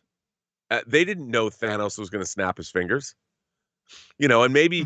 maybe we will see that that was one of the things that brought them out of, out of, out of. um uh, It spans thousands of years, so you think they're not going to cover these things in the movie? I bet they do. I bet they have reasons and uh, and obviously there's something that's happening in Eternals. We haven't had any indication. Like maybe one of them goes rogue, I think. But what if one of the Celestials is coming to judge Earth or something like that? I don't know. But hmm. now saying that, I think that these all these characters can now exist, coexist in the same universe. I mean, you know, we haven't gone to w- the West Coast yet, not really, except with well, you know, what, I was wrong because Scott Lang is in San Francisco, But so that's why he would that's why he would show up. yeah, there there could be a, a connection. Here's here's the big the biggest problem I see, the biggest hurdle or speed bump, if you will, in the Sony verse and the MCU inhabiting the same reality. Kevin Feige is an absolute control freak. And I say that in the most positive way possible because the only way he's been able to orchestrate and construct this entire MCU is because he has kept a very tight rein on everything that goes on with the MCU, very tight control on what it is. He approves every single blade of grass that happens in a world. He's he is very much a control freak. I I have a hard time imagining. I'm not saying it's impossible. I'm just saying I have a difficult time imagining that Kevin Feige would be willing to let go of the reins and say, "Yeah, okay, Sony, the, the movies of Sony does happen in our world too." But now Kevin Feige, that means Sony can do all these things in their movies that Kevin Feige has no control over, and that is now we are supposed to understand what happens in his world. So if Sony decides, and this is a, a- an extreme example, but if Sony decides in Morbius 3 that they want to, in a some big apoc- apocalyptic battle in Morbius 3, New York City gets destroyed. Well, Kevin Feige doesn't want New York City destroyed in his movies. It's not what he wants to have happen. And it, it's just it's just little things like that. That's an extreme example, but I think that's just one of the things that makes it very complicated for the idea of both of them inhabiting the same world. But Rob, as you've said before, it's all about what you negotiate. If they can come up with a deal that is satisfactory for everybody, maybe it becomes a possibility. Yep. All right, let's move on here. Uh, next up, Corey Everett writes, I love movie talk. I love movie talk too. I still kind of wish I could have gotten my name back. Movie talk. That was my name. Uh, of course, it was AMC Movie Talk at first. Then it was uh, um, then it was Collider Movie Talk for a while. By the way, I don't think I call, call it out. Brett V sends in a super chat badge in the live chat. Thank you, Brett. As does I, Iconic Reactions also sends in a super chat badge. Thank you, man. I appreciate that, guys. Um, I remember I had a meeting with the f- now former owner of Collider. Um, he and I got together and, and chatted a couple of times, and and it was and it was good. It was positive because you know I when I left Collider, it it wasn't all rain. I don't know if you knew this, Rob. It wasn't all sunshine and rainbows when I decided to No. leave Collider. Hey, Don't me know. neither. don't know. don't know if uh, people knew that. I you know and anyway, but it was it was really good. The the the former owner of Collider and I uh we we had a chance to get together and stuff like that. And we actually even discussed because of course Collider shut down movie talk and they shut down all the things that made it special and whatever. And so I remember I had a discussion with him and I said, "You know, if because he was still owning uh, he still owned Collider at the time. He no longer owns Collider. He's not, I don't believe he's associated with Collider in any way because I believe he sold it all off. But at the time, he was still the owner, and I I I remember bringing it up. I said, "Hey, you know, listen, uh, I lament that you shut down Movie Talk. I think you made a mistake shut down shutting down Movie Talk, but you've shut down Movie Talk. What would you think about me taking my name back? Because it is my name." what would you think about me taking my name back? And I got it. I get it. Listen, because at the time, his response, and it was actually totally reasonable.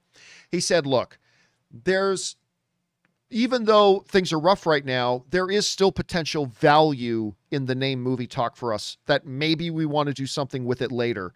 And I feel like it would be, you know, premature of me to just let it go now. He goes, you know, I, I appreciate you asking for it, but I hope you appreciate that it's it's not just something we should give away. And you know what? I while I totally think he should have given it to me and I should have had it back and I should have the name movie talk again, I did understand where he was coming from. Like again, we were just talking about Sony. Why would Sony just give up Spider-Man? Of course you don't give that up. You hold on to it. And they thought at the time that maybe there was some value in it. But uh, yeah, it would be nice to have the name back. I love that name. I love the name Movie Talk, Rob. But uh, yeah, it is what it is. All right, let's move on here. James Argento writes Tinfoil hat theory In Venom 2, Garfield will be revealed to be the Spider-Man of Spunk. Uh, in the, that's the Sony universe. Right. Uh, would be the Spider-Man of Spunk. Um, in post-credit, he gets sucked into the MCU due to Wanda. Uh, in future, Garfield Spider-Man in supporting role in Spunk film, and MCU have Holland for Spider-Man four through six and Avengers films. Here's the problem with that theory, James. And listen, Rob, you know I love Andrew Garfield as Spider-Man. I know. I, I, I mean, I love Tom Holland as Spider-Man, but I would really dig seeing Andrew Garfield back as Spider-Man again. But of course, the big problem is this: Kevin Feige is not going to sign a deal that says, while we're investing millions and millions and millions into making a live-action Spider-Man, that you are also out there making live-action Spider-Man. There's no way Kevin Feige agrees to that. There's simply no, he would have to be pretty dumb to agree to that. Because our Marvel movies should be the only, as long as we're spending all this money, then the only place you can see a live action Spider Man should be in our movies that we're making, and we're producing. Sony's distributing it, but that should be the only place. I just don't see any way that they agree to sign any kind of a deal where you can make live action Spider-Mans as well while we're making live action Spider-Mans. I just don't see them doing it. I don't know, Rob, is is there some kind of way to make that happen, do you think? Or do you think that's a you know a non-starter? I mean, look, it, it, the way things work today, I don't think anything is necessarily off the table. So yes, the answer is I think they could make that happen. The question is, would they? I mean, you're you're looking at economic interests. All, all of this comes down to money you know who's getting paid and also there are there are legal ramifications to all these things in terms of eh, owning characters and and how does how is the money going to be divided for years to come? So it's just a question of are they willing to put those kinds of things aside and and and do what they need to do to hammer out these deals? Or a lot of people you know get in the way of it and stand on ceremony they want more money and it just becomes untenable but you know the world we live in now we as fans and viewers, we want all this stuff to happen. And I think they know that. Like Kevin Feige knows that.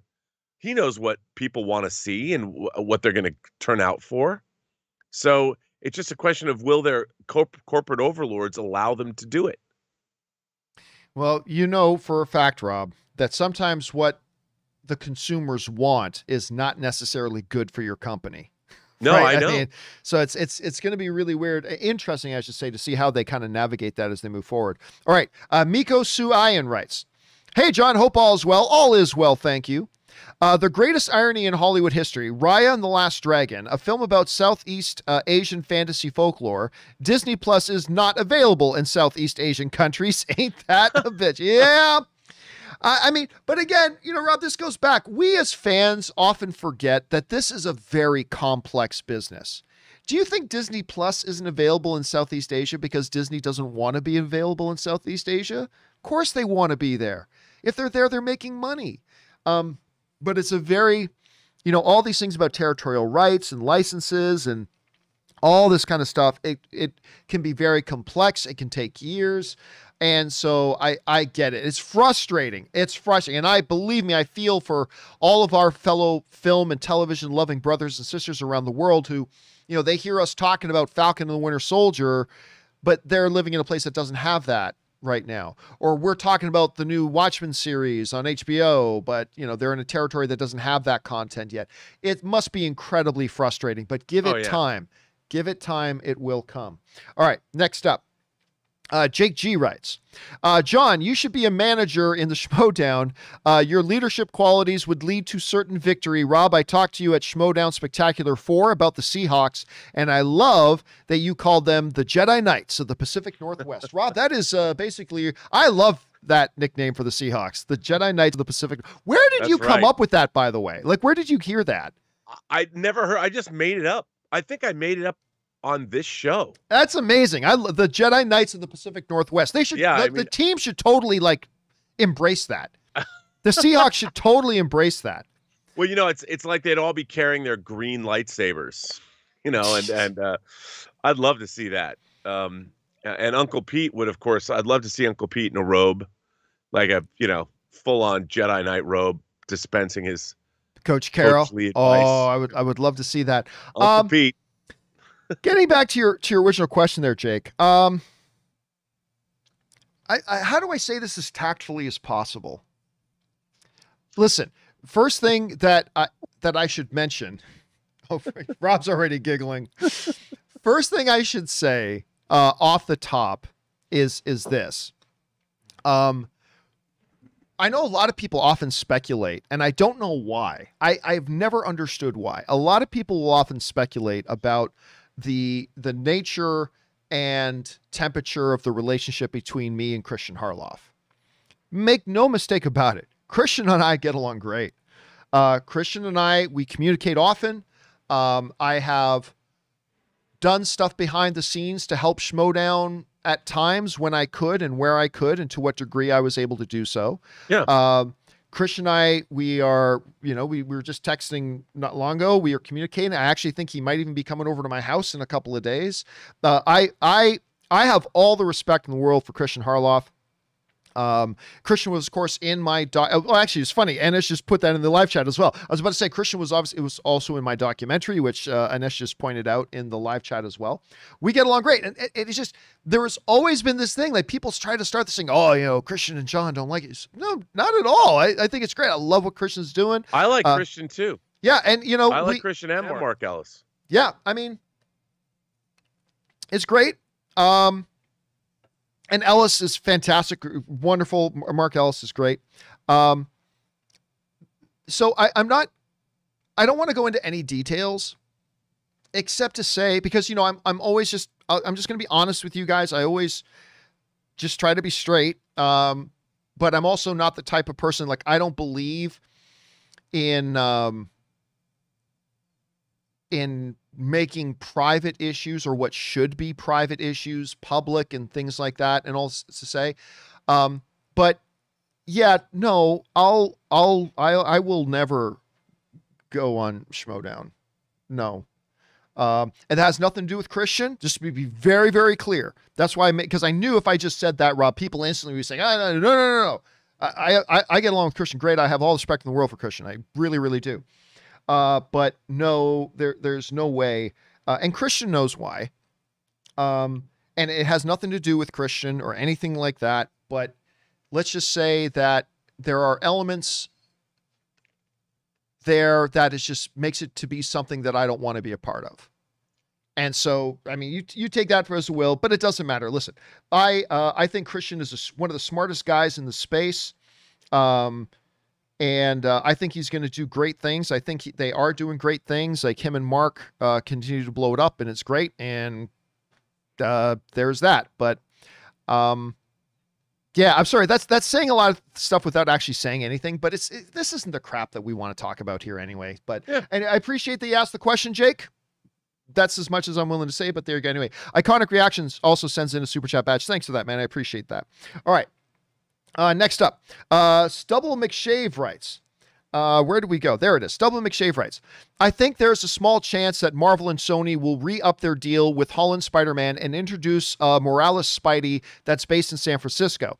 I also think there's a small chance that there will be two Spideys uh, in two Spideys in Sonyverse, one in New York and one in San Francisco. Again, the big problem with that is that I just don't see Marvel agreeing to you know, making Spider-Man movies that Sony gets to distribute while Sony goes ahead and makes their own live action Spider-Man at the same time. I think that becomes very, very problematic.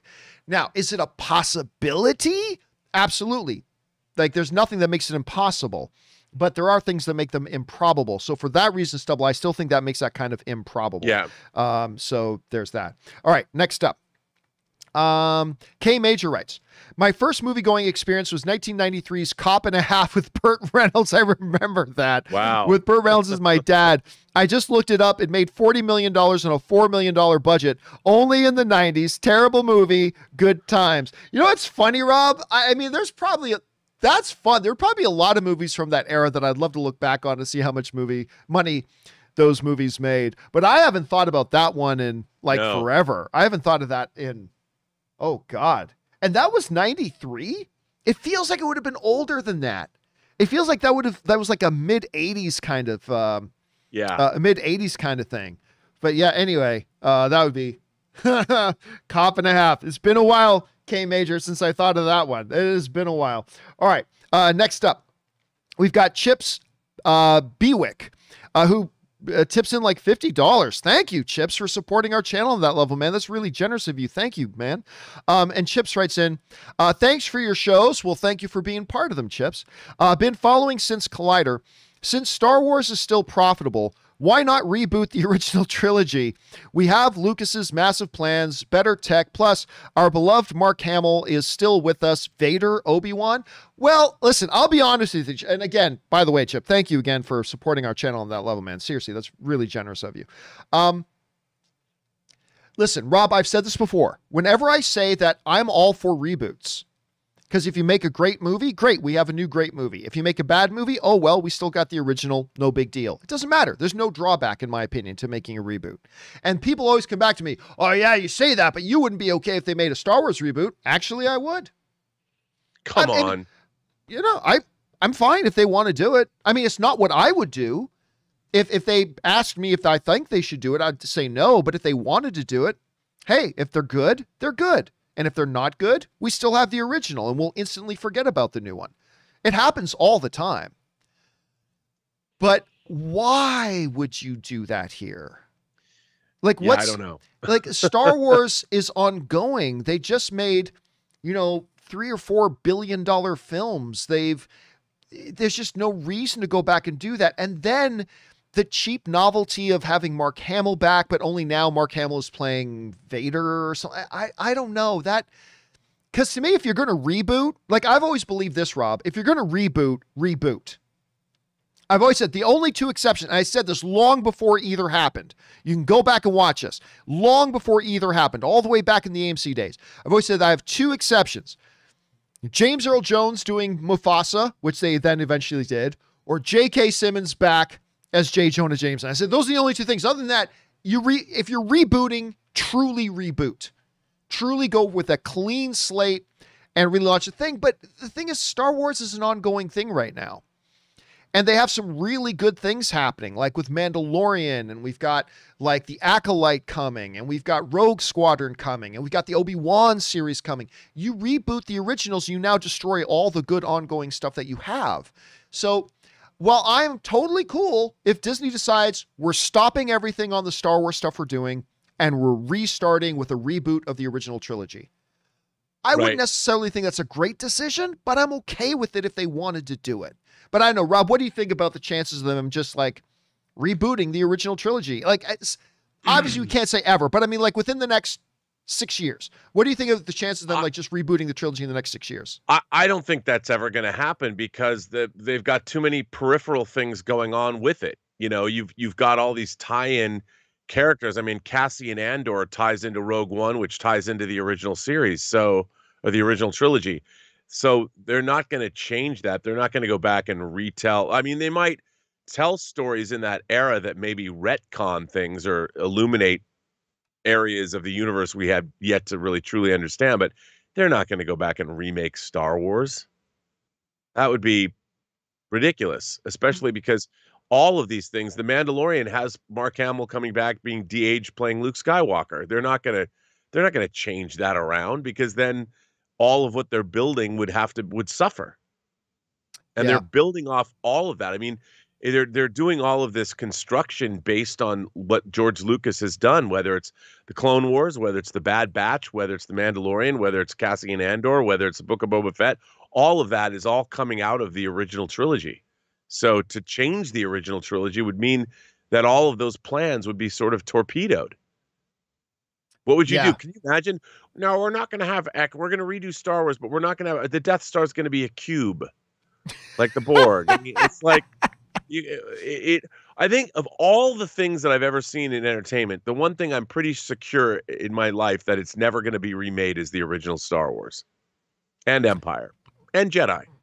No one's going to remake those. The original trilogy. The original yeah, the trilogy. original trilogy. Uh, I, I, you know, I don't, I don't think they will either. I don't think they will. I don't think they should. But I, I'm just saying, in advance, I, I'm okay theoretically if they wanted to do it.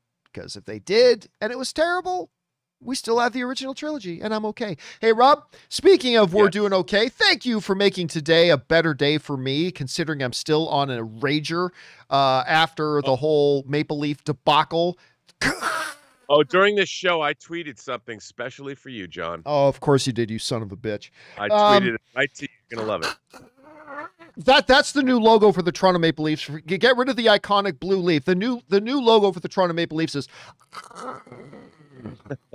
freaking Toronto Maple Leafs. My whole freaking life. Anyway, Robert Meyer Burnett has been here, ladies and gentlemen. Rob, thanks for spending your time with us here today. We'll see you again tomorrow. But in the meantime, where can people follow you and all of your glory and goodness online? Uh, you can find me on Instagram at Robert Meyer Burnett. Find me on Twitter at Burnett RM, or find me on my own YouTube channel, The Burnett Work. All right, man. Thanks for spending some of your time here today. We'll talk to you again tomorrow. Have a good one. See ya. Ladies and gentlemen, the one and the only Mr. Robert Meyer Burnett. Good to have him here, and it's good to have you guys here. We still have some time, so let's keep going through your live questions here, guys. Uh, moving on now here. That was Chip uh, Bewick writes. Uh, Skylar Hillman writes, one of two. Hey, John and Rob, just missed Rob. Uh, did you see that the actor who played Terry Silver in Karate Kid 3 is reprising his role? I have enjoyed all three seasons of Cobra Kai and looking forward to season four. I love the 80s nostalgia. Have you ever watched the How It Should Have Oh, these are two separate questions. Okay, so let's go through the first one. By the way, Iconic Reaction sends in a super chat badge in the live chat, and I think mm, R also sent in a super chat badge a little bit earlier as well. So thanks, guys, for sending that in. Um, let's start with question one. I don't watch uh, Cobra Kai. I was very excited about the idea of the show. I loved their notion for it. I love that they were bringing it back, that they were going to tell it from Johnny's point of view. I thought that was great. But I watched three or four episodes and it just wasn't for me. I'm not crapping on it. I'm just simply saying I gave it a shot, wasn't for me, did not work for me. My wife loved it. My wife loves it. But so after those first like three or four episodes, I kind of ditched on it. So I I don't really care. Plus, I thought that was the worst Karate Kid movie that he was in. I thought that was the worst one. Yes, I even thought the one with uh what's her name? Academy Award winning actress uh who kind of took over Daniel's role in the Karate Kid movie. Which one was it? The Next Karate Kid? Is that what it was called? Is that what it was called, guys? The Next Karate Kid? Anyway, um I even thought that one was better than the one that this dude was in. Hilary Swank, thank you. Uh, A. Aaron uh, sends in. It was Hilary Swank, that's right, who was the next Karate Kid. I even like that one better. So, uh, not really interested in this because I don't watch Cobra Kai, but again, my wife and several of my friends love it absolutely because it does work for them. Um, but it also wouldn't excite me even if I was watching Cobra Kai because I thought that was the worst of the Karate Kid movies. But that's just me. That's just me. All right. Thanks for sending that in, Skylar. Appreciate that. Uh, next up, an anonymous viewer writes, uh, Hey, John, been watching since the beginning of WandaVision. Oh, cool, man. You're a recent addition around here. Thanks for being here. I was looking for channels who were talking about it and found yours. Wasn't able to ask during its run, didn't have the funds, but what are some of your favorite sitcoms if you have any? Well, I mean, some of my favorite sitcoms are ones that, you know, you'll hear me talk about a lot. Like, obviously, there's your all time greats that are up there in the discussion for the greatest sitcoms of all time. Seinfeld, The Office. Um, those two are like probably the de facto bar sets for the, some of the greatest sitcoms of all time. Some of the other ones that I like to have in there as well are Parks and Rec. You guys know I love Parks and Rec so much. Um, I was a massive, massive fan back in the day of this little co- NBC comedy. I think it lasted like four or five seasons. I can't remember. Called Wings. I don't know if any of the rest of you guys uh, ever saw Wings or ever watched that show Ring, uh, Wings. It had the dude from uh, the guy who was Master Spl- did the voice of Master Splinter in the teenage the recent Teenage Mutant Ninja Turtle movie. Had Thomas Haden Church uh, was in it as well. I really really liked Wings. Uh, that was right up there for me. Not a lot of people watch it, but that was one of my sleepers. I, you know, I'd have to give it a lot more thought. But yeah, The Office, Parks and Rec, Seinfeld, uh, these are the ones that to me uh, really stand uh, stand out. All right, uh, let's get back over there. Uh, Skylar Himmon's second part of his question wrote, "Have you watched uh, the How It Should Have Ended before? They should make a recap of the first three seasons of Cobra Kai with a funny scene where Johnny yells quiet and the monster from A Quiet Place Two comes and kills him." Well, listen, I we I've mentioned how it should have ended multiple times on my show. I really do like the how it should. They're not always great. Like some of my favorite um spoof like there have been some big movie spoof things online, right? Like obviously there was the honest trailers, which I haven't really kept up with at all in a while, but there was honest trailers. That was a big one. Um one that is I just find consistently funny is the pitch meetings that I can't remember the name of the comedian dude, the guy that does them, but Ryan something or other. Um, the pitch meetings are always good. The how it should have ended, they were always good for a while. Now they're a little hit and miss. Sometimes they kill it. They still kill. They can still be. I'll still watch every single one that comes out. Uh, I they're not as consistently good as say the pitch meeting ones are, but they are still quite good. Again, I haven't I haven't watched anything about Cobra Kai past season or past episodes three or four, so uh, I can't write. By the way, uh, Ryan's name is Ryan George. Thank you, Dragon 10 and Amy and Cinema Sketch and others in there who wrote that in. Yes, uh, he does these pitch meetings and they're really, really good. All right. Uh, next up, uh, we have uh, Willow. And Willow writes, uh, you were just complaining about the Leafs. Yes, I was. Uh, imagine, though, if they made it to the finals, won the first three games, only to choke and lose four times in a row to lose the Stanley Cup. That's what happened to my Canucks in 2011, and I'm still heartbroken. I get it, Willow. I get it. But your team at least went to the Stanley Cup finals. My team, the Toronto Maple Laughs, have not made it to the finals, not even been in the finals the entire time I have been alive on this earth. 2011? I talk about the early 70s. As long as I've been alive, the Toronto Maple Leafs have not been to the Stanley Cup finals. They haven't won a single playoff series in 17 years. You want to talk about a drought? They hurt my soul. The Toronto Maple Leafs make my heart sad. All right? Finally, up three games to one against your age old biggest rival, the Montreal Canadiens. You are favored by a mile. You're up three games to one. You're going to win your first series in 17 years. You've got a good enough team that a lot of people say could potentially go to the Stanley Cup finals for the first time in my lifetime. And you. That's the new. Go ahead. I give you permission, Toronto Maple Leafs. Take a screen capture right now. There. Take my face and make that the new logo on your jerseys. You go ahead. Am I a little bitter about this? Yes, because finally, for the first time in like 20 years, I actually felt some hope in the Maple Leafs. Up three to one, first series win in 17 years, everybody. Woo! And uh, son of a bitch. Sorry, they hurt me. They hurt me, ladies and gentlemen. They made my heart sad. They make me cry. I'm I'm so angry and hateful and bitter towards them right now. Okay, anyway, suck it up. Let's go on to it here.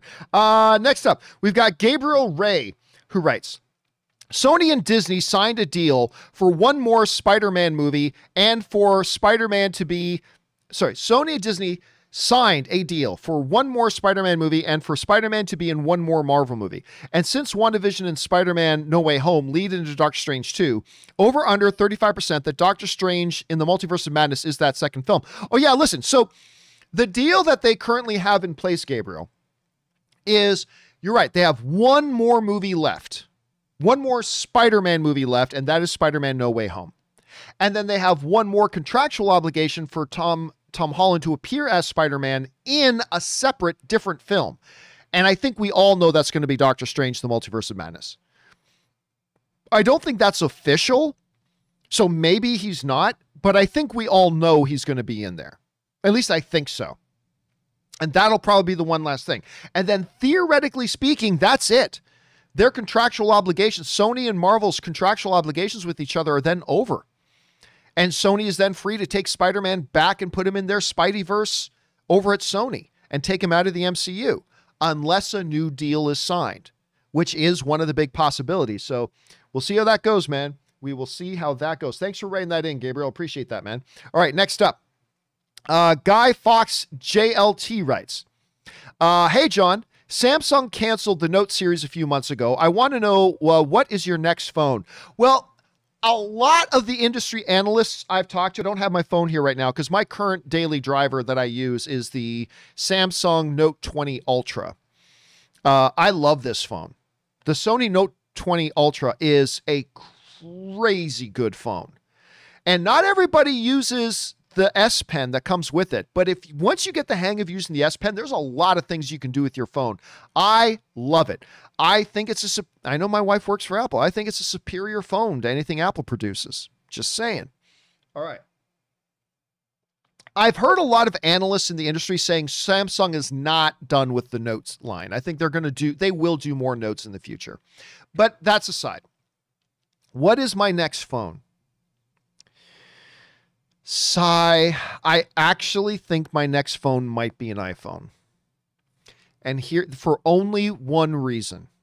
Because I think the Samsung phones, particularly their flagship phones, are the superior phone. I, I say that as somebody who used to use iPhone. I say that as somebody who is a very happy iPad user. My main laptop is a MacBook Air. Uh, my main desktop PC is a PC, but I have a lot of Mac products. But as somebody who has been an iPhone user, I have just simply found that the flagship level Samsung phones are superior. That said, uh, that said, I've always known of this functionality that Apple has called AirDrop.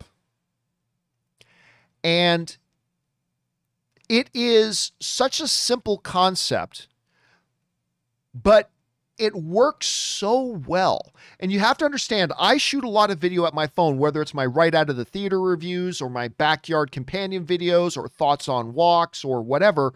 And part of the big struggle is in the pain in the ass of getting that footage because it's usually gigabytes of data and getting that footage from one thing to another.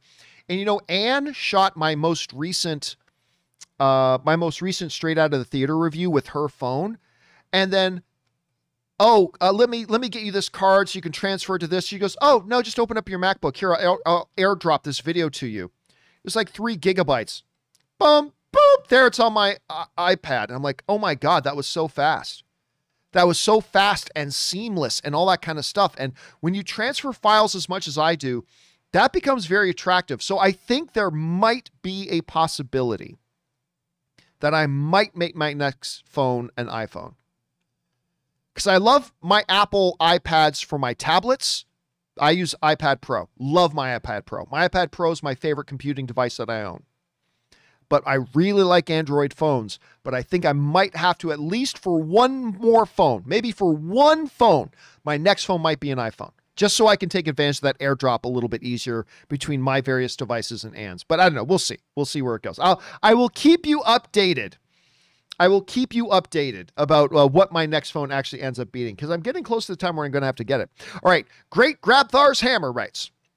John, I don't know if you realize this. When somebody brought up Mortal Kombat theme about being inspired by a Scandinavian church song, uh, you missed the pun. It's based on a Finnish hymn. Oh, as in Finnish hymn. Yeah, I had a few people write that to me. Listen, I I don't care. Uh, I am so focused on. You guys have no idea how difficult it is to run audio and video and a live stream and engage with questions and try to stay on track and do it all live, no cutting, no editing. So I'm really, really just zo- like focused on on trying to get through the question, whatever. If somebody wants to send in a pun or something like that, yeah, I will probably miss it because I'm not looking for it. I am looking to answer people's questions, you know, because people like to send in these live chat questions, people support the channel by by putting a tip attached to it. And so with people supporting the channel by putting a tip attached to it, you know, as long as it's appropriate for the show, I am focused in on trying to give them the best answer that I possibly can. And so if they want to slip in a little pun like that, that's fine. I have no problem with that. Just don't get upset if I completely overlook it because it's not what I'm looking for when I'm kind of trying to zero in and focus on and getting the uh, the questions. And so I don't mind that he wrote that in. I have no problem with that. Just you got to understand if you want to try to do that, it's the joke you wrote in is probably going to be missed because I'm just looking to answer your question as best as I can and I may not pick up on it. But that's just that. All right. Uh, next up. Um, let's see. Where are we at here next? The next up is Mr. Cross writes, uh, one of two. To my fellow film fan who asked about a new about new workout songs, I've got some to add to your playlist. Somebody wrote in the other day, say, "Hey, I'm starting to work out. What pieces of music should I listen to?"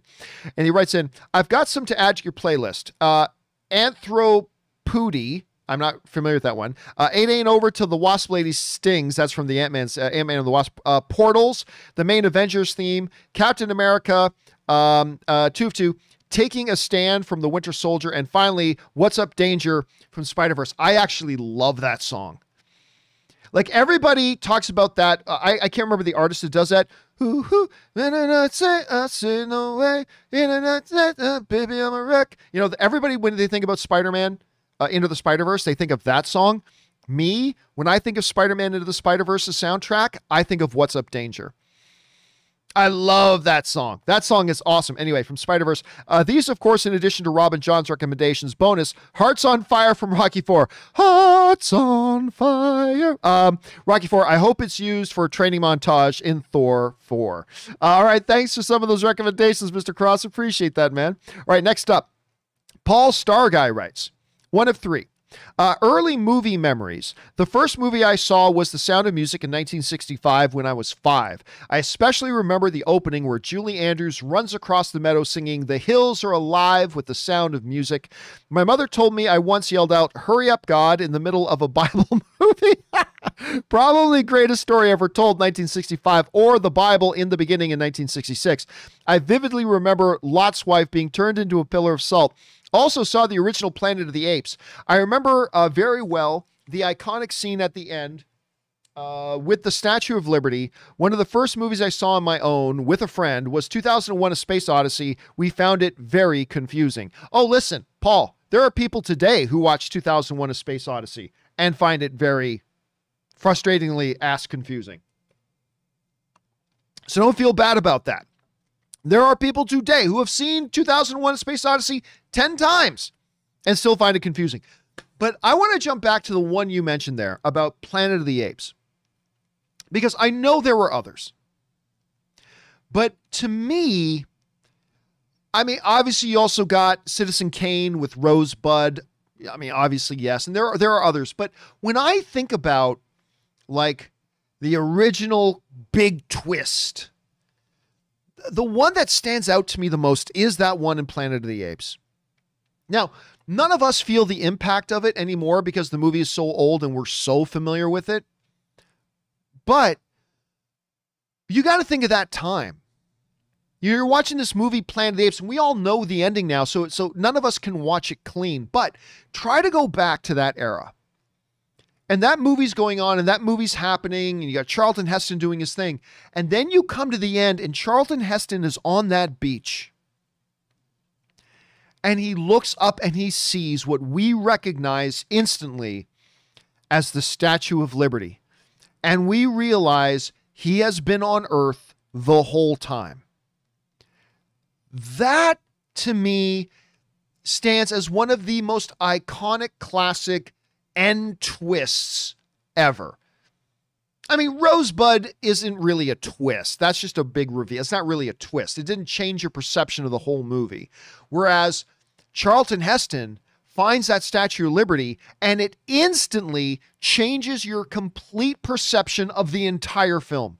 You're now going back through every scene in your head and now you're looking at it through a completely different context than what you did when the movie started.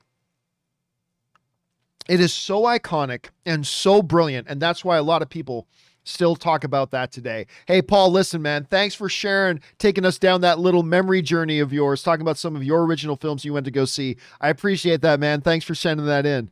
All right, next up. We got the Sock who writes, just watched Army of the Dead. Really didn't need to be that long. Uh, but that ending, man, uh, so goddamn unsatisfying. Uh, you know what was satisfying though? That scene where he cracks open the safe with that music, almost as good as a really good climax. I liked it too, although I will say this. One of my criticisms of Army of the Dead coming out, and I said this right away because I came out of it and said, "Hey, thumbs up from me. Had fun with it. It's a, it's a as far as a zombie film goes, fun classic kind of zombie film. It's a lot of fun." I had some criticisms of it for sure. One of which was it was unnecessarily long. That movie didn't need to be that long. Like when you go into A Quiet Place 2 and John Krasinski cracks that thing at like an hour and 35 minutes, perfect. Perfect. It kept it tight. It kept the story moving. You never felt a lag. It had crisp pace. It was great. Army of the Dead did not be, need to be as long as it was. There's a lot of stuff you could have cut out of that. But the crack safing scene is great because we were talking just recently about the whole um, Ryan George's pitch meeting videos. And Ryan George, in his pitch meeting video for Army of the Dead, makes a tremendous observation that I never thought about. Tremendous observation that I never thought about, which was part of the team that they send in is a safe cracker. But doesn't that dude own the casino? Would he not have access to the combination code of the safe? Why do they need a safe cracker? Well, because it'll make it fun in the movie, as they say in, in the thing. And that that's yeah, so the safe cracking scene, I actually like the safe cracking scene. I think that's fun. But then when I do look back at it, I was like, yeah, that makes no sense. Why the hell? Because if I was sending you to my house to get something for me, you don't have to crack the combination code on my keypad on my front door to get in. I will tell you the combination code. If you're going to my house to get something for me, I'm not going to make you break into my house. I'm going to give you the code to my house. Uh, so that that part was uh, yeah a little bit too long. And even though I still like that vault safe, uh, that vault cracking scene, it, it, probably doesn't make any sense. So there's that. Whatever. Uh, all right. Thanks for that, the sock. All right. Next up. Uh, Ryan Lohner, and this will be the last couple ones we take today, guys. Ryan Lohner writes in, Well, I finally worked up the guts to see for myself just what's so bad about Highlander 2 The Quickening. And now that I have seen it, what most comes to mind is that I have to imagine that there were a ton of ideas for what to do with the Highlander sequel, and if this was really what the studio thought was the best one, I have to know what some of the others were. Still, I'll forever be thankful for the image of Sean Connery saying, in genuine confusion, What's a shithead? Yeah, man. Listen, uh, The Highlander is such an interesting series of movies for me because, as many of you know, the original Highlander, um, the original Highlander is in my top 10 all time greatest movies. It's the one movie on my top 10 list because everybody, while my, not everybody has my same top 10 list, but all the movies on my top 10 list, people will go, oh, yeah, that's a good one, and that's a good one, even if it's not on their list. But the one movie that always makes people scratch their heads when I list it in my top 10 favorite of all time is that original Christopher Lambert, Clancy Brown, Sean Connery, Queen music inspired Highlander. That to me is the top 10 my, of my all time favorite movies. Highlander 2 is literally a part of the trinity of the all time worst movies ever made. To me, the trinity of the all time worst big Hollywood wide release movies ever made are, in no particular order, Battlefield Earth, Catwoman, and The Highlander Part 2. So I've got the first Highlander in my top 10 all time favorite. Highlander Part 2 is literally one of the three, in my opinion, worst big Hollywood wide release movies ever made in cinematic history. So I do have this kind of mixed mixed bag, right? But I'm very excited that they're remaking this new one, and Henry Cavill is going to be the new Connor MacLeod. I'm very very excited about that. Very very excited about that. All right, guys, listen. We still have more questions to go from uh, Tim Platt, um, LaBelle, uh, Katanimi, uh, Price, uh, and so on and so forth. Do not worry. I'm going to do companion video a little bit later today. I might even do it live. I might pre record it, I might do it live. I don't know. You'll have to just wait and see how I do it. But we will do a companion video a little bit later today where we will get through all the remaining questions that were sent in today uh, by the time right now we end this show. So if your question didn't get read yet, don't worry. Companion video a little bit later today. We'll get to all the rest of your questions. But for now, that'll do it for me, guys, for this installment of the John Campea Show. Thank you so much for being here and making this show a part of your day. Thanks to Robert Meyer Burnett for bringing his glorious glory and goodness. And a special thank you to all of you guys who sent in these live comments and questions. First of all, because you give us great fun things to talk about. But secondly, you support this channel as you do it. And all of us here involved at the John Campea Show are very, very grateful for all of your guys' support. All right, guys. That'll do it for me. Remember to do the four main things stay smart, stay safe, take care of yourselves. Please take care of the people around you. My name's John Campea, and until next time, my friends,